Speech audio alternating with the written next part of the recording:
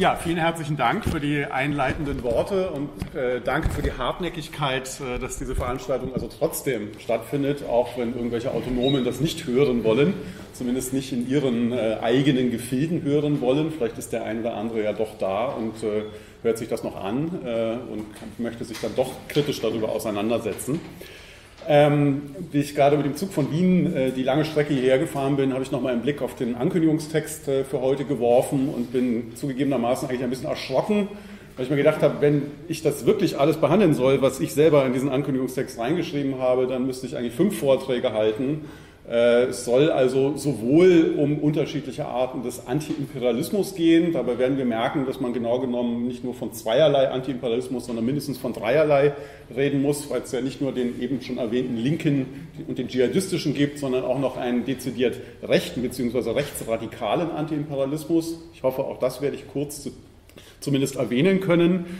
Äh, dann ist da aber auch noch unter anderem davon die Rede, dass äh, darüber geredet werden soll, äh, wie vor dem Hintergrund einer Kritik einer kapitalakkumulierenden Gesellschaft nun eine Solidarität mit Israel begründet werden kann.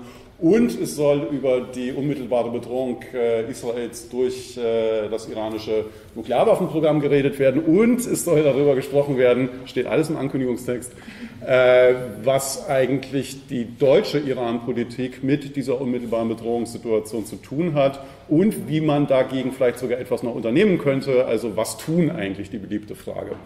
Sie sehen also, das ist eigentlich ein Mammutprogramm und dementsprechend, ich werde tatsächlich versuchen, zu all diesen Punkten zumindest etwas zu sagen, aber dementsprechend wird das natürlich so sein, dass ich viele Punkte nicht wirklich ausführen kann, nicht groß herleiten und entwickeln kann, sondern vieles wirklich nur anreißen werde und teilweise wirklich nur stichwortartig äh, äh, illustrieren, bebildern kann, worum es mir dabei eigentlich geht.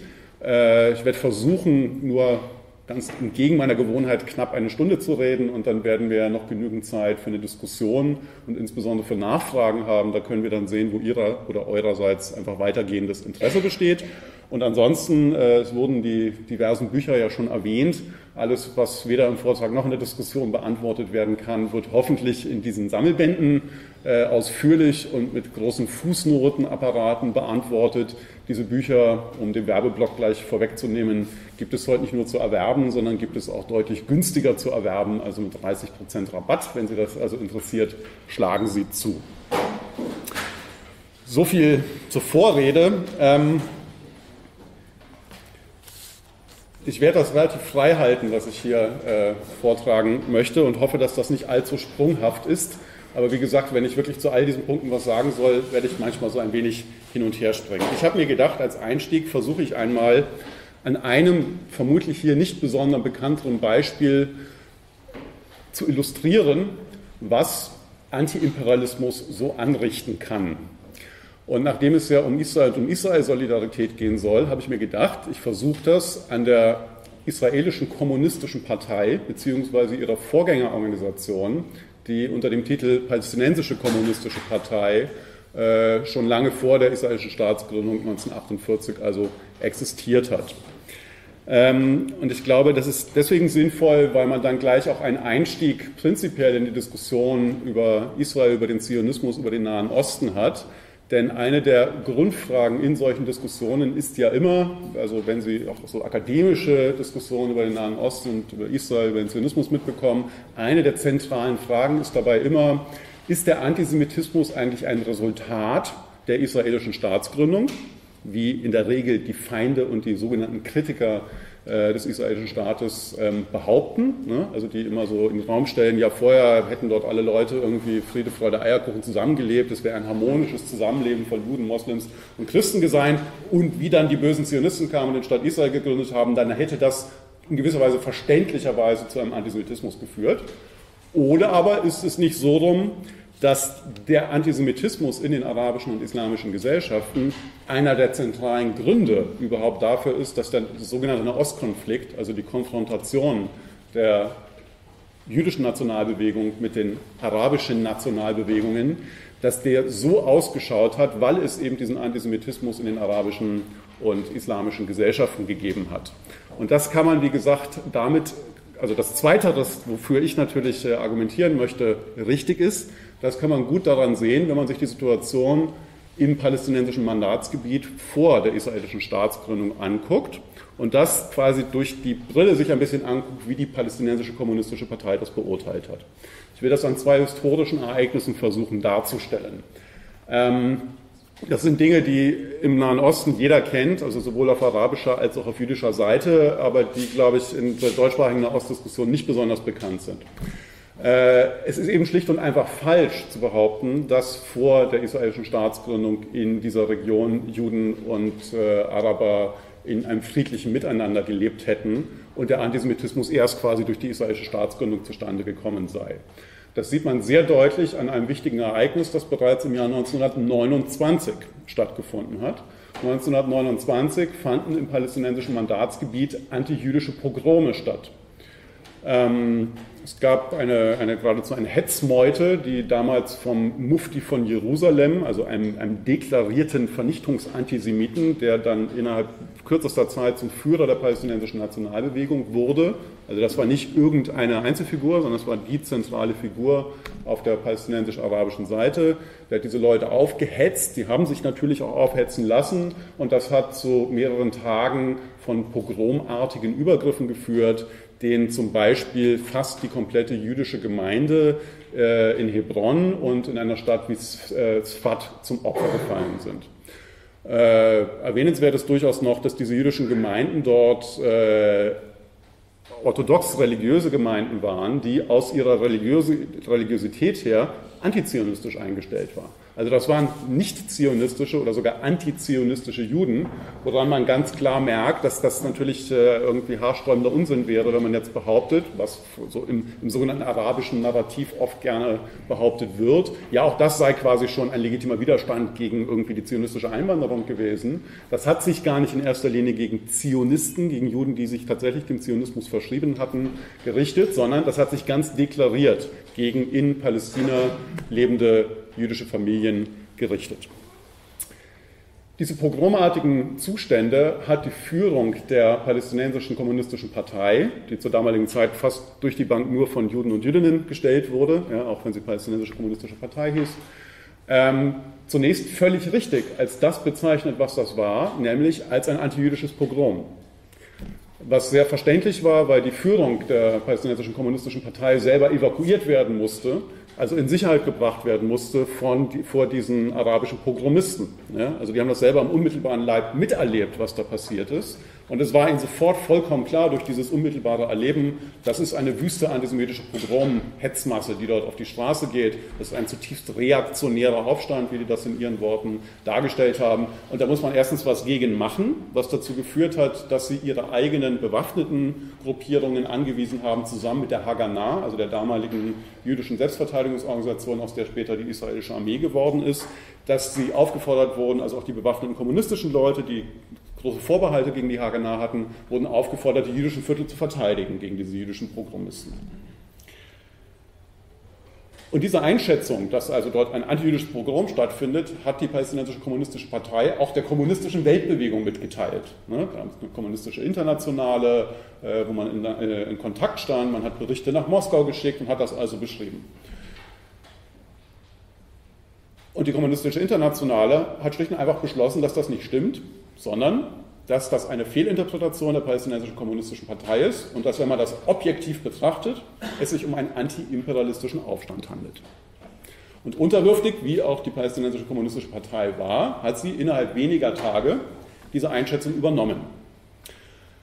Und man kann das in den Zeitungen, in den Publikationen nachvollziehen, übrigens auch in der, in der deutschsprachigen kommunistischen Presse damals, die Rote Fahne äh, hier in Deutschland, also die äh, Parteizeitung der KP, hat berichtet über diese Ereignisse, ja, hat natürlich sofort die Vorgabe von Moskau übernommen und hat behauptet, ja, dieser antisemitische Pogrom sei ein, ein legitimer antiimperialistischer Aufstand, der selbstverständlich auch unterstützt werden müsste. Und mit dieser Einschätzung, ja, also wo man an einem Beispiel sieht, was so eine antiimperialistische Weltsicht quasi anrichten kann, das wurde dann, war exemplarisch, wurde geradezu paradigmatisch für die weitere Entwicklung. Ähm, diese Pogrome von 1929 waren nämlich nur der Auftakt für die weitere Entwicklung, die dann darin mündete, dass es von 1936 bis 1939 im palästinensischen Mandatsgebiet einen dreijährigen sogenannten arabischen Aufstand gab, der eigentlich, also da wird von arabischer Seite als Aufstand, als groß angelegte Widerstandsbewegung sowohl gegen die Zionisten als auch gegen die britische Kolonialmacht äh, gesehen. Es war de facto ein dreijähriges andauerndes antijüdisches Pogrom. Ja? Es sind mehrere hundert Juden äh, in diesem sogenannten anti, äh, äh antibritischen, äh, sogenannten antizionistischen Aufstand ermordet worden. Ähm, und dieser Aufstand fand in einer Koalition statt, die gewisse Formel von, von antiimperialistischen Bündnissen, wie wir sie bis in die heutige Zeit kennen, bereits vorweggenommen hat. Dort war es nämlich so, dass die palästinensische kommunistische Partei nicht mehr drei Tage brauchte, um diese Interpretation, es würde sich hier um Antiimperialismus handeln, zu übernehmen, sondern das war von Anfang an die Position der palästinensischen kommunistischen Partei. Und sie hat sich in eine Art Generalkommando dieses arabischen Aufstandes begeben, der wie gesagt ein antijüdisches Pogrom war, und äh, hat dort ganz offen mit dem Mufti von Jerusalem zusammengearbeitet, der mittlerweile der unumstrittene Führer der palästinensischen Nationalbewegung war.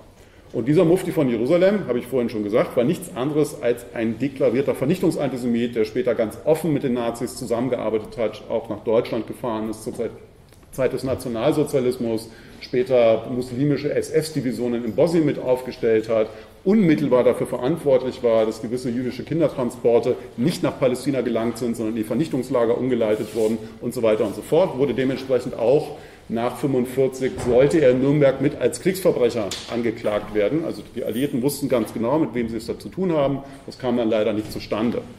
Unter der Führung dieses Mufti stand also dieser Aufstand und an diesem Aufstand haben sich alle maßgeblichen Teile der arabischen Bevölkerung beteiligt und von jüdischer Seite haben sich die linken Antiimperialisten daran beteiligt. Dieser Aufstand wurde von den deutschen Nationalsozialisten und den italienischen Faschisten mitfinanziert und all das hat aber die palästinensische kommunistische Partei, ja, also die sich die Fahne der Revolution von Karl Marx ja eigentlich irgendwie auf die Fahnen geschrieben hatten, nicht daran gehindert, sich daran unmittelbar zu beteiligen und dort mitzumischen und das eigentlich einzige Argument, was sie dafür hatten, war, es handelt sich objektiv gesehen um einen antiimperialistischen Aufstand. Diese wirklich grauenhafte Geschichte der palästinensischen kommunistischen Partei setzt sich eigentlich immer so weiter fort. Das ging dann, ich kürze das jetzt ein bisschen ab, das ging dann so weit, dass man selbst noch im Zweiten Weltkrieg, anfänglich, als noch nicht auch Krieg gegen die Sowjetunion geführt wurde, man weiterhin gegen die Briten agitiert hat. Weil man gesagt hat, die Briten sind hier unsere Kolonialmacht und gegen die muss man eigentlich kämpfen. Das sind die Imperialisten. Ähm, außerdem gab es ja dann den Hitler-Stalin-Pakt und deswegen durfte man eh nichts gegen die Nazis machen. Äh, es gab Mitglieder der palästinensischen kommunistischen Partei, die in Haifa am, am, Hafen Flugblätter gegen jüdische Flüchtlinge aus Deutschland verteilt haben ja, und in allen Ernstes erklärt haben, sie so, sollen gefälligst wieder nach Deutschland zurückgehen und dort gegen die Bourgeoisie kämpfen, anstatt irgendwie nach Palästina auszuwandern. Ja. Also das ist die Geschichte des Stalinismus ist schlimm genug, aber wenn man sich dann die Geschichte des, des stalinistischen Antiimperialismus im Mandatsgebiet Palästina anguckt, kommen noch mal ein paar niederschmetternde Details dazu, denke ich.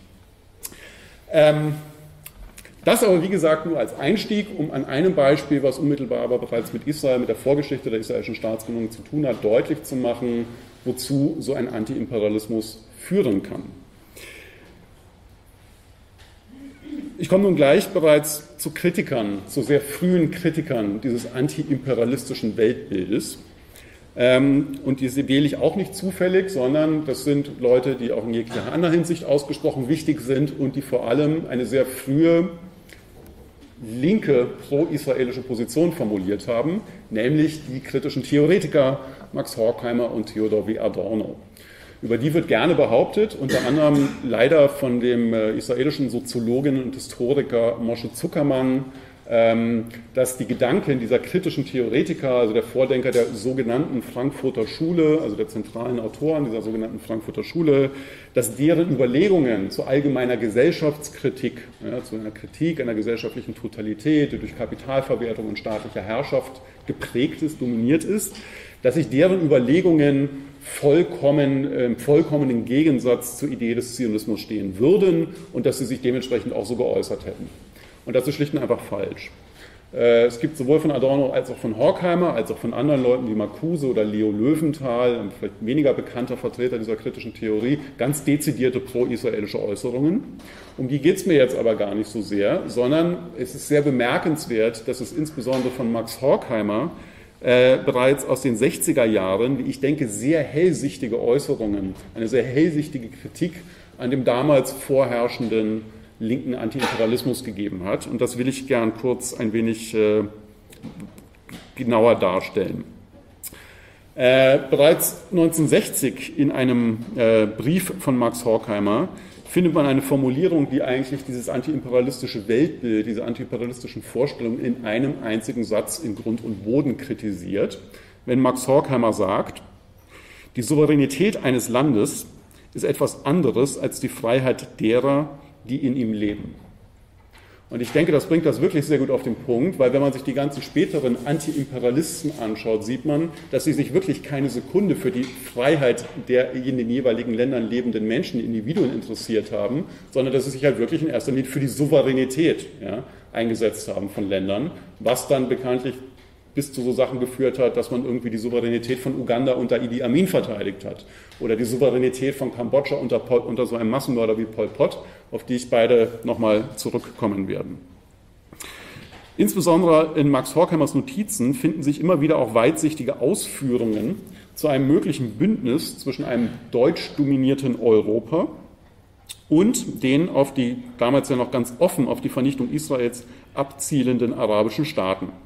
Besonders deutlich hat er das in einer längeren Notiz aus dem Jahr 1960 bereits formuliert, wo er schreibt, das ist ein längeres Zitat, was ich aber ganz vorlesen möchte, um die Jahreswende 59-60 sind in sehr vielen westlichen oder zum Westen haltenden Ländern Synagogen und andere Gebäude mit pronationalistischen antisemitischen Losungen und Symbolen bedeckt worden. Ich habe eine Vorstellung vom Sinn der Aktion. Sie geht von Nasser, also Gamal Abdel Nasser, dem damaligen ägyptischen Präsidenten, quasi dem Führer der panarabischen Bewegung, die zentrale Figur des, äh, äh, des damaligen Antiimperialismus sozusagen. Sie geht von Nasser und seinen narzisstischen Beratern aus. Also es sind ja haufenweise deutsche Nazis und österreichische Nazis natürlich auch äh, nach 45 in die arabischen Länder ausgewandert und haben gerade in Syrien und in Ägypten dann äh, mehr oder weniger ihre alten Projekte fortgeführt. Sie geht von Nasser und seinen narzisstischen Beratern aus, hinter denen mutmaßlich auch manche Gruppe in Deutschland stehen. Trotz Wirtschaftswunder und Aufrüstung ist die Bundesrepublik allein zu schwach, um dem Traum vom dritten Machtfaktor oder wenigstens des Züngleins an der Waage zu verwirklichen. Nicht wenige mächtige Männer mögen deshalb einen Sinn, ja ein Interesse an Nassers Ideen haben, das Feldgeschrei gegen Israel, das die arabischen Völker einigen sollte, auch auf weitere Nationen auszudehnen. Der Plan ist die starke, Russland wie Amerika gegenüber machtvolle dritte Gewalt darzustellen, einen faschistischen Block der Staaten der alten Welt mit den sogenannten unterentwickelten Völkern zusammenfasst. Ich zitiere das deswegen so ausführlich, weil ich denke, dass wenn man, wenn ich später dann versuchen werde, etwas zum Iran zu sagen und auch zur deutschen Iran-Politik und zu der Art und Weise, wie heute deutsche Politikwissenschaftler über dieses Verhältnis Deutschland zum Iran reden, dann wird man auf einige Punkte, die dort für die damalige Zeit sehr allgemein formuliert werden, gerade diese Vorstellung eines Bündnisses von einem deutsch dominierten Europa mit, wie es da noch heißt, den Orientalen der orientalischen Welt, äh, wird man in gewisser Weise Parallelen entdecken können. Auch jemand wie Adorno hat damals bereits ganz ähnliche Befürchtungen formuliert. In einem seiner wahrscheinlich bekanntesten Texte, einem Text, der, der von den Studierenden in den 60er und 70er Jahren sehr ausführlich gelesen wurde, ohne dass die, die dort darin enthaltenen Warnungen vor so einem trikontinentalen äh, antiimperialistischen Ressentiment quasi, dass das ernst genommen worden wäre. Also man hat sich hier auf andere Sachen darin ähm, konzentriert in diesem Text und hat das, worauf ich hinaus möchte, gar nicht sonderlich ernst genommen. In diesem Text findet sich aber genauso eine Warnung, wenn Adorno schreibt, das faschistische Wunschbild heute verschmilzt ohne Frage mit dem Nationalismus der sogenannten unterentwickelten Länder. Einverständnis mit denen, die in der imperialistischen Konkurrenz sich zu kurz gekommen fühlten und selber an den Tisch wollen, drückte schon während des Krieges in den Slogans von den westlichen Plutokratien und den, und den proletarischen Nationen sich aus. Und ein letztes Zitat, wieder von Horkheimer, wieder aus einem Brief von 1960, äh, wo er sich nochmals äh, zu der Zunahme von ganz offen narzisstischen Manifestationen hier in der Bundesrepublik äußert. Das knüpft nochmal an an das Zitat von ihm von vorher. Entscheidend ist, dass die Angelegenheit nicht auf Deutschland beschränkt ist, vielmehr, ist, äh, vielmehr in ihr eine Mächt, Mächtekonstellation sich ankündigt, deren Modell wiederum Herr Nasser und die alten Nazis in Kairo bilden. Wenn der anti-israelische Slogan bei der Einigung der Araber seine Dienste tut, so soll der anti-jüdische ein Bündnis der unterentwickelten Orientalen mit anderen Teilen der Welt, die von den Angelsachsen wie den Kommunisten sich emanzipieren wollen, vorbereiten. In zukünftigen Krisen, die denen vom Ende der 20er Jahre gar nicht so unähnlich zu sein brauchten, könnte es geboren werden. Ähm, und übrigens bereits diese Feindbildbestimmung, ein Bündnis, das sich von den Angelsachsen und den Kommunisten emanzipieren möchte, wenn Sie jetzt Schriften von einem der wichtigsten Antiimperialisten des 20. Jahrhunderts hernehmen, nämlich Ruhollah Khomeini, also Ayatollah Khomeini, dem Führer der iranischen Revolution von 79, finden Sie dort genau diese Feindbildbestimmung. Khomeini wettert ganz ähnlich wie die Nationalsozialisten, natürlich unter völlig anderen historischen Bedingungen, unter anderen ökonomischen Situationen und so weiter und so fort, aber trotzdem von der Feindbildbestimmung her ganz ähnlich wie die Nationalsozialisten, sowohl gegen den Osten als auch gegen den Westen. Also sowohl gegen die liberalen Angelsachsen, einen liberalen Kapitalismus, der irgendwie von der Wall Street dominiert wird und hinter dem in Wirklichkeit natürlich irgendwie die jüdische Weltverschwörung steckt, in, in, in der Vorstellung von solchen Leuten, und gleichzeitig gegen den Osten, also gegen diese äh, äh, das, was Sie dann als kommunistisch wahrnehmen, was in Wirklichkeit eben dieser fürchterlich autoritäre Staatssozialismus und auch Staatskapitalismus in den Ostblockstaaten gewesen ist. Wenn man sich diese Zitate vergegenwärtigt, denke ich, merkt man, wie in allen möglichen anderen Punkten auch, wie aktuell die kritische Theorie eigentlich ist. Max Horkheimer hat das, dieses unmenschliche Wesen des Antiimperialismus eben sehr früh erkannt Deutschland hatte und hat mit seiner ganz spezifischen Variante eines anti-westlichen Anti-Imperialismus, also wie er sich auch im Nationalsozialismus artikuliert hat. Das ist ja, also gerade in so linken Faschismustheorien gab es immer diese eigentlich sehr merkwürdige, wirklich falsche Annahme, dass das so ein klassischer Imperialismus sei, weil man halt erstmal halb Europa besetzt. Aber das war ja allein schon vom nationalsozialistischen Selbstverständnis durchaus was anderes. Ja? Sowas hat natürlich eine Rolle gespielt. Natürlich gab es so klassische Form von imperialistischen Eroberungsfeldzügen im Nationalsozialismus, aber das war eigentlich nicht das Wesentliche. Das Wesentliche war vom Selbstverständnis her, dass man ein dass man sich eben befreit, sowohl von den Kommunisten als auch von den Angelsachsen. Also das war gegen die Imperialisten gerichtet, dieses nationalsozialistische Selbstverständnis. Das war eine Form von einem anti-westlichen, ja sogar in einem gewissen Sinne antikapitalistischen Anti-Imperialismus, der sich dort äh, artikuliert hat. Und mit dieser Form hat Deutschland eben einen antiwestlichen Antiimperialismus als eine Form nachholender Entwicklung etabliert.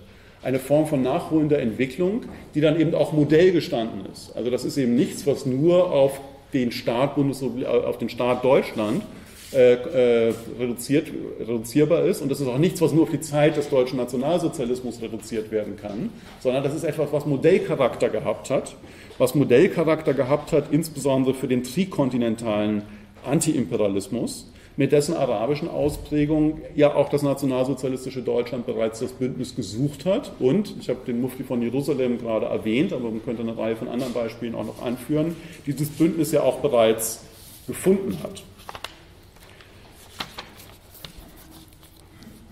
Wenn man nun, äh, wie ich denke, sehr gut begründet viele böse Sachen viele, äh, über den Antiliberalismus sagt und damit natürlich auch über den Antikolonialismus, denke ich, dass man allerdings trotzdem eine gewisse Differenzierung vornehmen muss.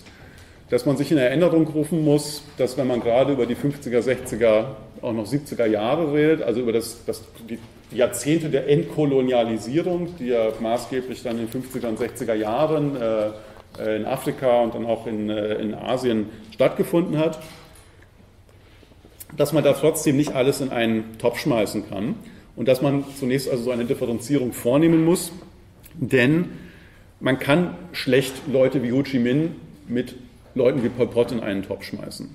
Man kann schlecht jemanden wie Fidel Castro mit so einem Schlechter wie Idi Amin in einen Topf schmeißen. Es lohnt sich durchaus zumindest nochmal in Erinnerung zu rufen, dass dieser Antiimperialismus, also ein in seinem Selbstverständnis nach in all diesen Ausprägungen irgendwie linke Antiimperialismus, dass diese antikolonialen Befreiungsbewegungen das eine Mal zur partiellen Emanzipation der Frauen, zur Alphabetisierung der Massen, zu einer gewissen sozialen Absicherung und mitunter auch zu sowas wie einer allgemein humanistischen Gesinnung geführt haben. Während ein anderes Mal, also wenn man so Figuren wie Idi Amin oder Pol Pot im Kopf hat, in Völkermord, intellektuellen Verfolgung, Rassismus und ganz offenem Antisemitismus seine Erfüllung fand. Und ich denke, es lohnt sich ebenfalls, nochmal in Erinnerung zu rufen, dass es diese unterschiedlichen Ausprägungen historisch eben immer gegeben hat, nämlich einen, quasi einen immer noch auf den roten Oktober von 1917 bezogenen linken Antiimperialismus, der sich auf die leninschen Vorstellungen von Imperialismus und Antiimperialismus bezogen hat, die, so kritikwürdig sie selbstverständlich sind, eben nicht einfach das Gleiche sind wie irgendwelche islamisch-dschihadistischen Vorstellungen von der gleichen Sache. Ähm, und dass es deswegen auch gar kein Zufall ist, dass diese beiden Ausprägungen, also daher so ein bisschen auch der Titel zweierlei Antiimperialismus, dass diese beiden Ausprägungen, also eines sich selber als links verstehenden, immer noch auf diesen Emanzipationsgedanken auch der russischen Revolution sich beziehenden Antiimperialismus, dass der mit der anderen Ausprägung, nämlich dieses dschihadistisch-islamischen Antisemitismus, für den Khomeini, aber eben auch eine Reihe von, von sunnitischen islamistischen Theoretikern wie Said Qutb und Hassan al-Banna stehen, dass die in einen blutigen Konflikt geraten sind, namentlich in Afghanistan. Ja? Also Afghanistan ist das Paradebeispiel sozusagen, wo diese beiden Ausprägungen von Antiimperialismus aufeinanderprallen und eben überhaupt kein Bündnis eingehen, sondern ganz im Gegenteil sich bis aufs Blut bekämpfen bei all seiner staatssozialistischen Borniertheit beinhaltete nämlich dieser traditionelle Antiimperialismus immer eben doch auch ein Element zumindest der Befreiung, das in diesen trikontinentalen Entwicklungsdiktaturen, die sich an der Sowjetunion orientiert haben, zumindest Ansätze einer, einer Befreiung, Ansätze einer emanzipativen Entwicklung hervorgebracht hat eine emanzipative Entwicklung, gegen die sich wiederum dieser dschihadistische Antiimperialismus ganz explizit wendet. Also wenn ich vorhin zum Beispiel gesagt habe, partielle Emanzipation der Frauen. Ja, natürlich war das etwas, was durch diesen eigentlich völlig zu Unrecht in Verruf geratenen Sozialimperialismus der Sowjetunion in Afghanistan zum Beispiel überhaupt erst ermöglicht wurde. Ja, das war eine sehr gute Sache, dass das dort ermöglicht wurde. Und genau dagegen richtet sich dieser dschihadistisch-islamische äh, Antiimperialismus. Ja, also die sind sich erstmal überhaupt nicht einig. Wenn man das so betont, diese notwendige Differenzierung, ja, ich glaube auch, die ist notwendig und man sollte da eben nicht so vorschnell drüber hinweggehen, ja, dass es diese Unterschiede natürlich gegeben hat. Muss man aber trotzdem sagen, dass es immer schon einen Punkt gab, in dem sich diese beiden Ausprägungen vollkommen einig waren. Beide Ausprägungen haben fast von Beginn an einen Krieg gegen Israel geführt, beziehungsweise einen Krieg gegen Israel unterstützt. Ja, bei den islamisch-dschihadistischen Gruppierungen ist es, glaube ich, sowieso vollkommen klar. Ja, das gehört schlicht und einfach nicht irgendwie als rhetorische Beigabe, sondern als ein zentrales Element zu diesem äh, islamisch-dschihadistischen Antiimperialismus, dass man schlicht und einfach sagt, man wird nie irgendeine Form von jüdischem Staat im Nahen Osten oder auch sonst irgendwo auf der Welt akzeptieren äh, und wird das mit allen Mitteln, die man halt zur Verfügung hat, bekämpfen. Ähm, aber es war innerhalb kürzester Zeit eben auch so, dass das die dominierende Position dieses sich an der Sowjetunion orientierenden Antiimperialismus gewesen ist, in all seinen Ausprägungen, sowohl in dieser staatlichen Form der RGW-Staaten, also des Warschauer Paktes, als auch in Form dieser ganzen Befre sogenannten Befreiungsbewegungen, die sich auf, in irgendeiner Art und Weise eben auf die Sowjetunion oder auch nur auf die Ideen des Roten Oktobers bezogen haben. Äh, es war eine sehr kurze Phase, wo die Sowjetunion äh, nach dem Zweiten Weltkrieg die Staatsgründung Israels mit unterstützt hat. Ja, Gibt es äh, großartige Reden von äh, Gromyko, äh, der auch schon in, in, den 40er und 50er Jahren eine wichtige Position hatte. Ich glaube, der war in den 80er Jahren immer noch Außenminister. Äh, es gibt eine Rede von Gromyko vor der UNO, ja, das ist, als wenn Abba Eban, also einer der späteren israelischen Außenminister, die ihm geschrieben hätte, das ist ein leidenschaftliches zionistisches Plädoyer in gewisser Weise, ja, wo er argumentiert, dass aus der Erfahrung mit dem Nationalsozialismus und den unglaublichen Verbrechen, die an den Juden begangen wurden, man jetzt nicht umhin könne, eine Gründung des Staates Israel im Nahen Osten zu unterstützen.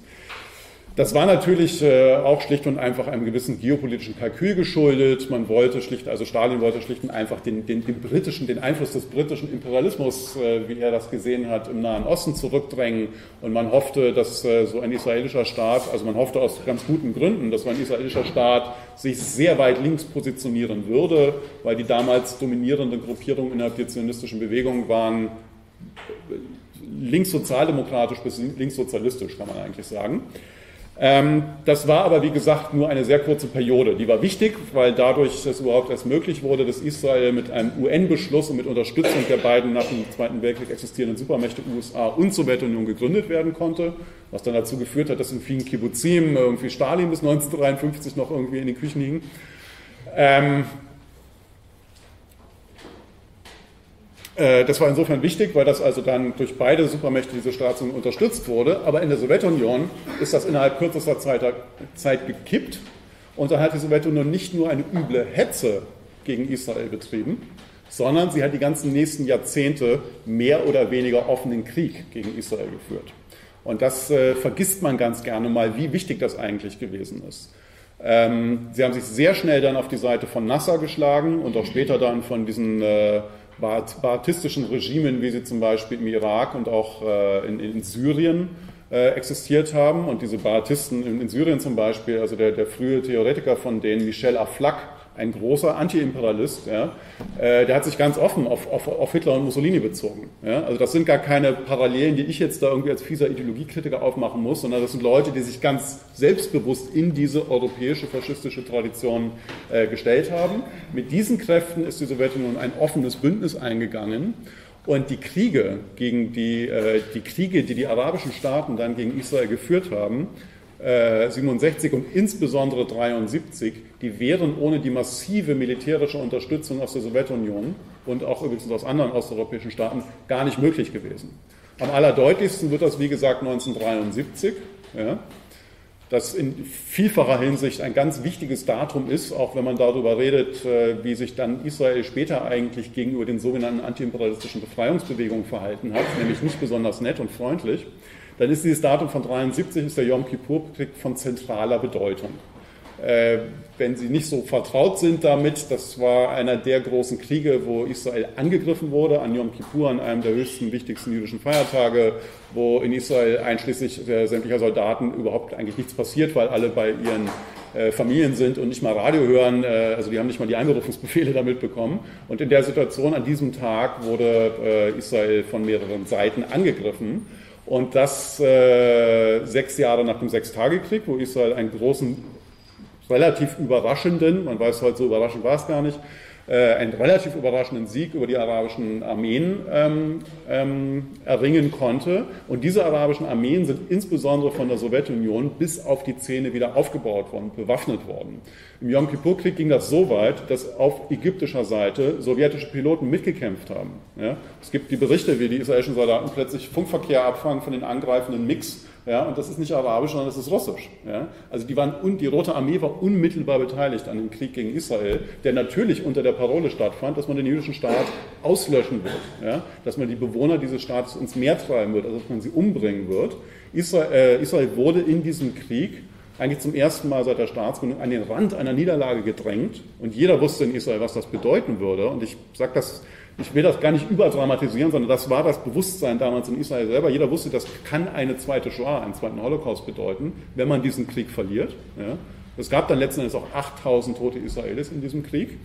Ähm, und es, wie gesagt, es war nicht nur die Sowjetunion, es war nicht nur die Rote Armee, die das unterstützt hat. Es standen auch deutsche Kampfpiloten bereit, in Syrien nämlich, um diesen Krieg gegen Israel mitzuführen. Ja? Also wenige Jahrzehnte, nachdem Deutschland glücklicherweise niedergerungen wurde und durch die geballte Militärmacht nur bekanntlich der Alliierten daran gehindert wurde, mit dem Massenmorden noch fortzuführen, wenige Jahrzehnte später standen deutsche Kampfpiloten, nämlich NVA-Soldaten, bereits in Syrien und haben nur noch auf ihren Einsatzbefehl gewartet, der dann aus wahrscheinlich eher militärtaktischen Gründen gar nicht gekommen ist. Sie standen bereit, um einen Krieg, einen Angriffskrieg gegen den jüdischen Staat zu führen.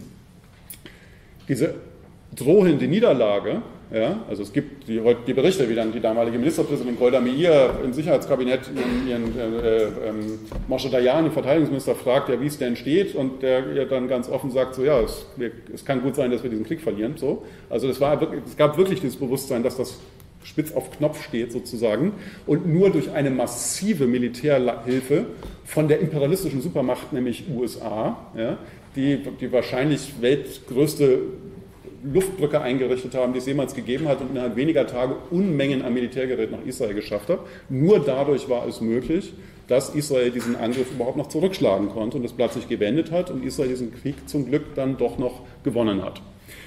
Ähm, diese Militärhilfe übrigens, um gleich auch mal was äh, Schlechtes über die USA zu sagen, um dann nicht missverstanden zu werden, äh, die kam sehr viel später, als die Israelis das gefordert hatten. Und allerhöchstwahrscheinlich war es notwendig, dass die Israelis mit dem Einsatz ihrer allerhöchstwahrscheinlich existierenden Atombomben gedroht haben. Und zwar den Amis damit gedroht haben. Also den Amerikanern klar machen mussten, entweder bringt ihr uns jetzt diese Waffen, die wir brauchen, um hier das Blatt nochmal wenden zu können, oder wir sehen uns kurz vor einer Niederlage und ihr wisst, wenn wir kurz vor einer Niederlage stehen, haben wir eine Waffe, die wir eventuell einsetzen werden, weil wir werden es niemals wieder akzeptieren, dass wir quasi kampflos in den Untergang gehen. Die USA haben Israel also tagelang ausbluten lassen, ja, weil sie aus verschiedenen Gründen gab es unglaubliche Spannungen. Die, die äh, Amerikaner waren schon nicht zufrieden mit dem 67er-Krieg, den die Israelis gemacht haben. Die Israelis waren nicht bereit, ja, sich den den Planungen quasi der US-amerikanischen Supermacht unterzuordnen, sondern die haben immer ihre eigene Souveränität betont, auch gegenüber ihren angeblich ach so guten Verbündeten in den USA. Und das hat den USA nicht gepasst. Und deswegen fanden sie das ganz okay, dass erstmal 8000 Israelis draufgehen und dann kam erst diese Luftbrücke. Ja.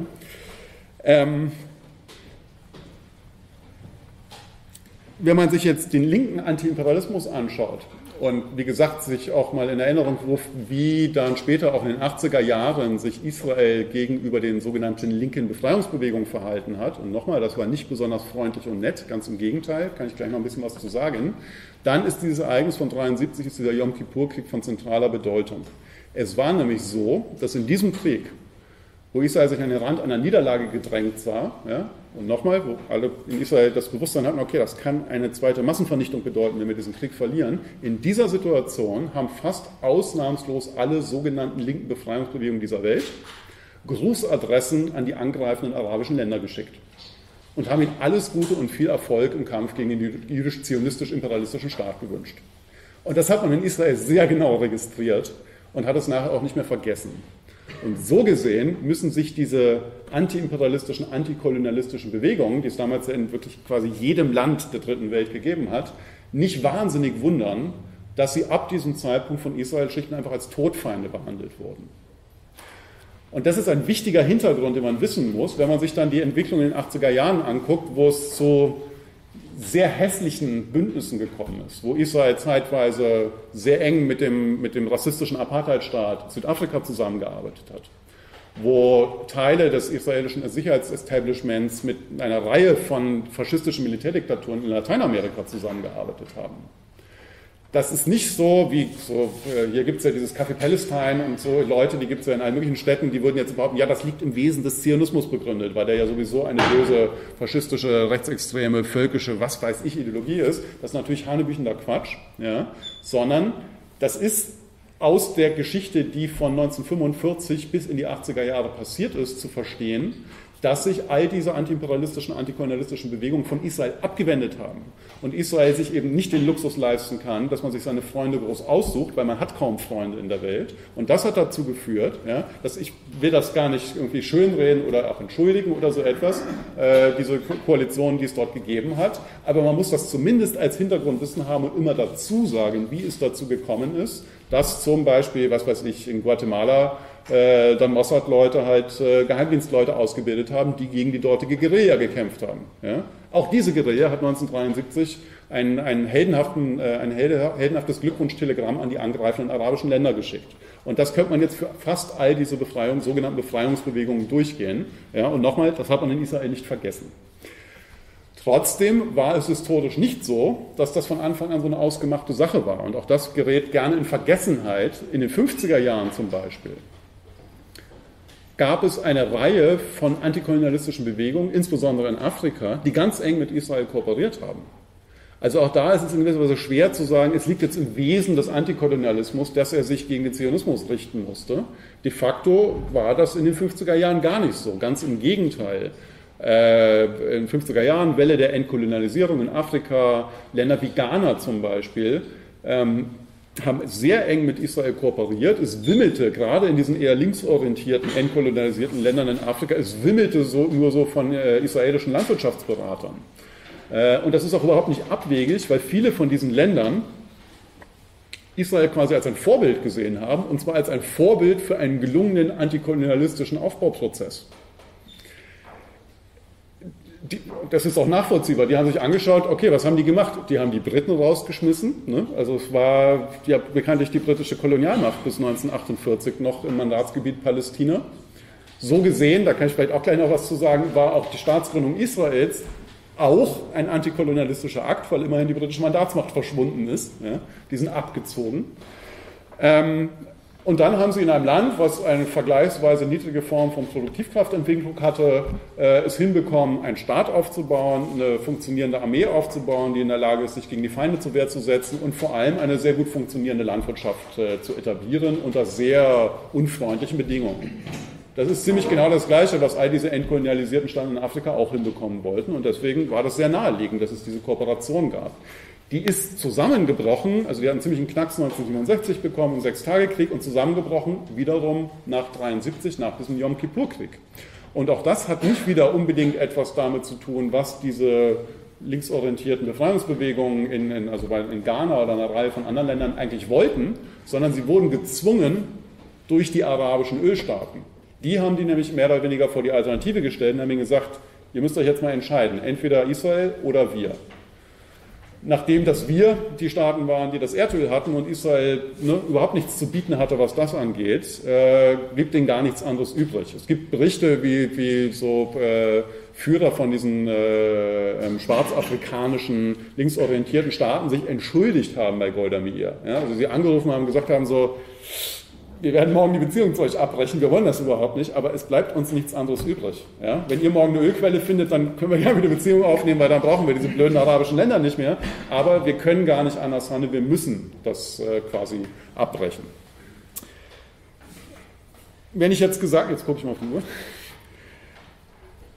Wenn ich jetzt gesagt habe, äh, Israel war in, in, gewisser Weise auch ein antikolonialer Akt. Das äh, müsste man natürlich noch sehr viel mehr dazu sagen.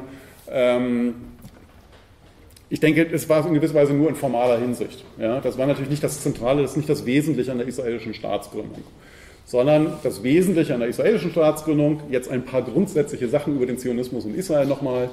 Äh, das Wesentliche daran ist, dass dort eine Staatsgründung stattgefunden hat, die sich von allen anderen bisherigen unterscheidet.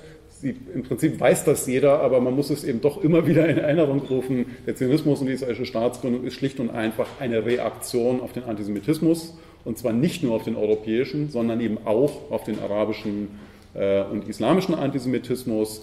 Es ist die leider viel zu spät gekommene Reaktion insbesondere auf den nationalsozialistischen Vernichtungsantisemitismus. Und darin unterscheidet sich diese Staatsgründung also von allen anderen. Äh, es ist dies eine Staatsgründung, die auch für, weil auch das ja im Ankündigungstext erwähnt wurde, muss ich also auch ein paar Sätze zu sagen, die auch für eine materialistische Staatskritik, für eine sehr grundlegende, für eine radikale Form von Staatskritik, ja, quasi nur gute Gründe angeben kann. Natürlich passieren auch in Israel haufenweise Dinge, ja, die einer materialistischen Kritik Anlass für Kritik bieten würde, ja, weil der Zionismus, anders als eine allgemeine Gesellschaftskritik, auch anders als die kritische Theorie übrigens, die sich dementsprechend auch manchmal sehr ambivalent zum Zionismus und zu Israel dann geäußert hat, Aber diese Notwehrmaßnahme namens Zionismus, diese Notwehrmaßnahme gegen den Antisemitismus muss sich auf die bestehende Welt einlassen, muss in gewisser Weise positiv werden. Und das bedeutet in der Welt nach 45, wo man eben auch nicht die Konsequenz gezogen hat, dass man sagt, also nach Auschwitz wird nun ein für alle Mal Schluss gemacht mit den gesellschaftlichen Gründen für den Antisemitismus. Nachdem also auch nach 1945 die Welt weiter in Staaten, Nationen eingerichtet ist und nach dem Prinzip von Kapitalverwertung und Akkumulation funktioniert, war der Zionismus gezwungen, sich genau das anzueignen. Also eine funktionierende Kapitalakkumulation hinzubekommen, einen funktionierenden, wehrhaften Staat aufzubauen. Das heißt, all das, was womöglich auch einer materialistischen Kritik in einem Land wie Israel durchaus Anlass für Kritik bieten würde, wie in vielen anderen Ländern auch, ist letzten Endes rückbezogen auf eine ganz bestimmte Funktion dieser Staatlichkeit, die außerhalb jeder Kritik steht.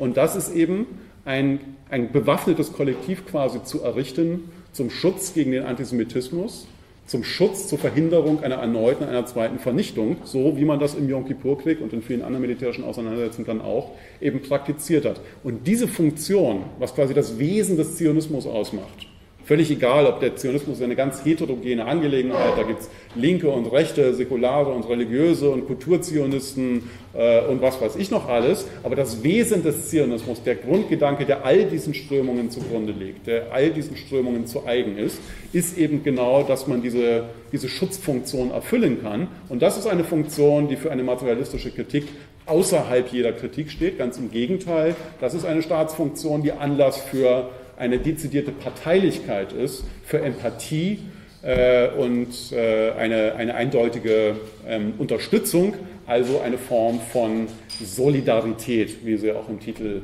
äh, dieser Veranstaltung vorkommt. Ähm, nachdem ich jetzt doch schon recht, recht lang rede und ja auch noch was zum Iran sagen soll, äh, eine der wichtigsten Aufgaben genau so einer Solidarität heute, denke ich, wäre es, gegen dieses grauenhafte Bündnis, was es mittlerweile eben zwischen einem islamischen Antiimperialismus und einem sich irgendwie immer noch als links verstehenden Antiimperialismus vorzugehen. Ich sage zuerst etwas zu diesem Bündnis und ich sage zuerst etwas dazu, warum ich glaube, dass diese Differenzierung, die ich in Bezug auf die 50er, 60er, 70er Jahre doch noch irgendwie eingefordert habe, heute nahezu obsolet ist. Und dann vielleicht abschließend noch ganz kurz etwas zu dieser unmittelbaren Bedrohung, die vom iranischen Regime heute für Israel ausgeht. Ich glaube, diese Unterscheidung zwischen einem irgendwie linken, leninistischen, noch sich auf den roten Oktober und einen Emanzipationsgedanken beziehenden Antiimperialismus einerseits und einem islamisch-dschihadistischen Antiimperialismus andererseits ist unter anderem deswegen so obsolet, weil die heute ein ganz klares Bündnis eingegangen sind. Und das lässt sich natürlich am allerdeutlichsten an der Parteinahme, Parteinahme ist zu wenig gesagt, an dem offenen Bündnis äh, verdeutlichen, dass die lateinamerikanischen, sich selber eben als Avantgarde des, eines linken Antiimperialismus verstehenden Staaten, was die mit diesem Holocaust-Leugner-Regime in Teheran mittlerweile eingegangen sind. Nehmen Sie Kuba unter Castro sowohl den, wie heißt das, älteren als auch den jüngeren äh, nehmen Sie Nicaragua unter Daniel Ortega, ne, für den der ein oder andere der hier Älteren vermutlich irgendwann in den 80er Jahren mal noch gewisse Sympathien äh, entwickelt hat. Der, der, hat der, der, verbietet heute Abtreibung in Nicaragua. Ja. Nehmen Sie Evo Morales in Bolivien und nehmen Sie insbesondere, und an dem Beispiel will ich es noch ein bisschen verdeutlichen, äh, Venezuela sowohl unter Hugo Chavez als auch unter den Nachfolger von Hugo Chavez. Venezuela unter Hugo Chavez ist jenes Land in Lateinamerika, das das engste Bündnis mit dem iranischen Regime eingegangen ist. Und da geht es um sehr viel mehr als irgendwie nur so ein paar Berührungspunkte und dass die sich ziemlich oft getroffen haben. Also da gab es eine sehr starke gegenseitige Besuchsdiplomatie. Ahmadinejad ist jedes Mal, wenn er in Lateinamerika war, natürlich äh, äh, nach Caracas geflogen und umgekehrt ist Hugo Chavez auch äh, in den Iran gereist man hat sich permanent gegenseitig als Bruder bezeichnet, die haben sich immer in den Arm genommen, wo man allein schon so von der Bildsprache gesehen hat, da geht es mehr als um so ein strategisch-taktisches Bündnis.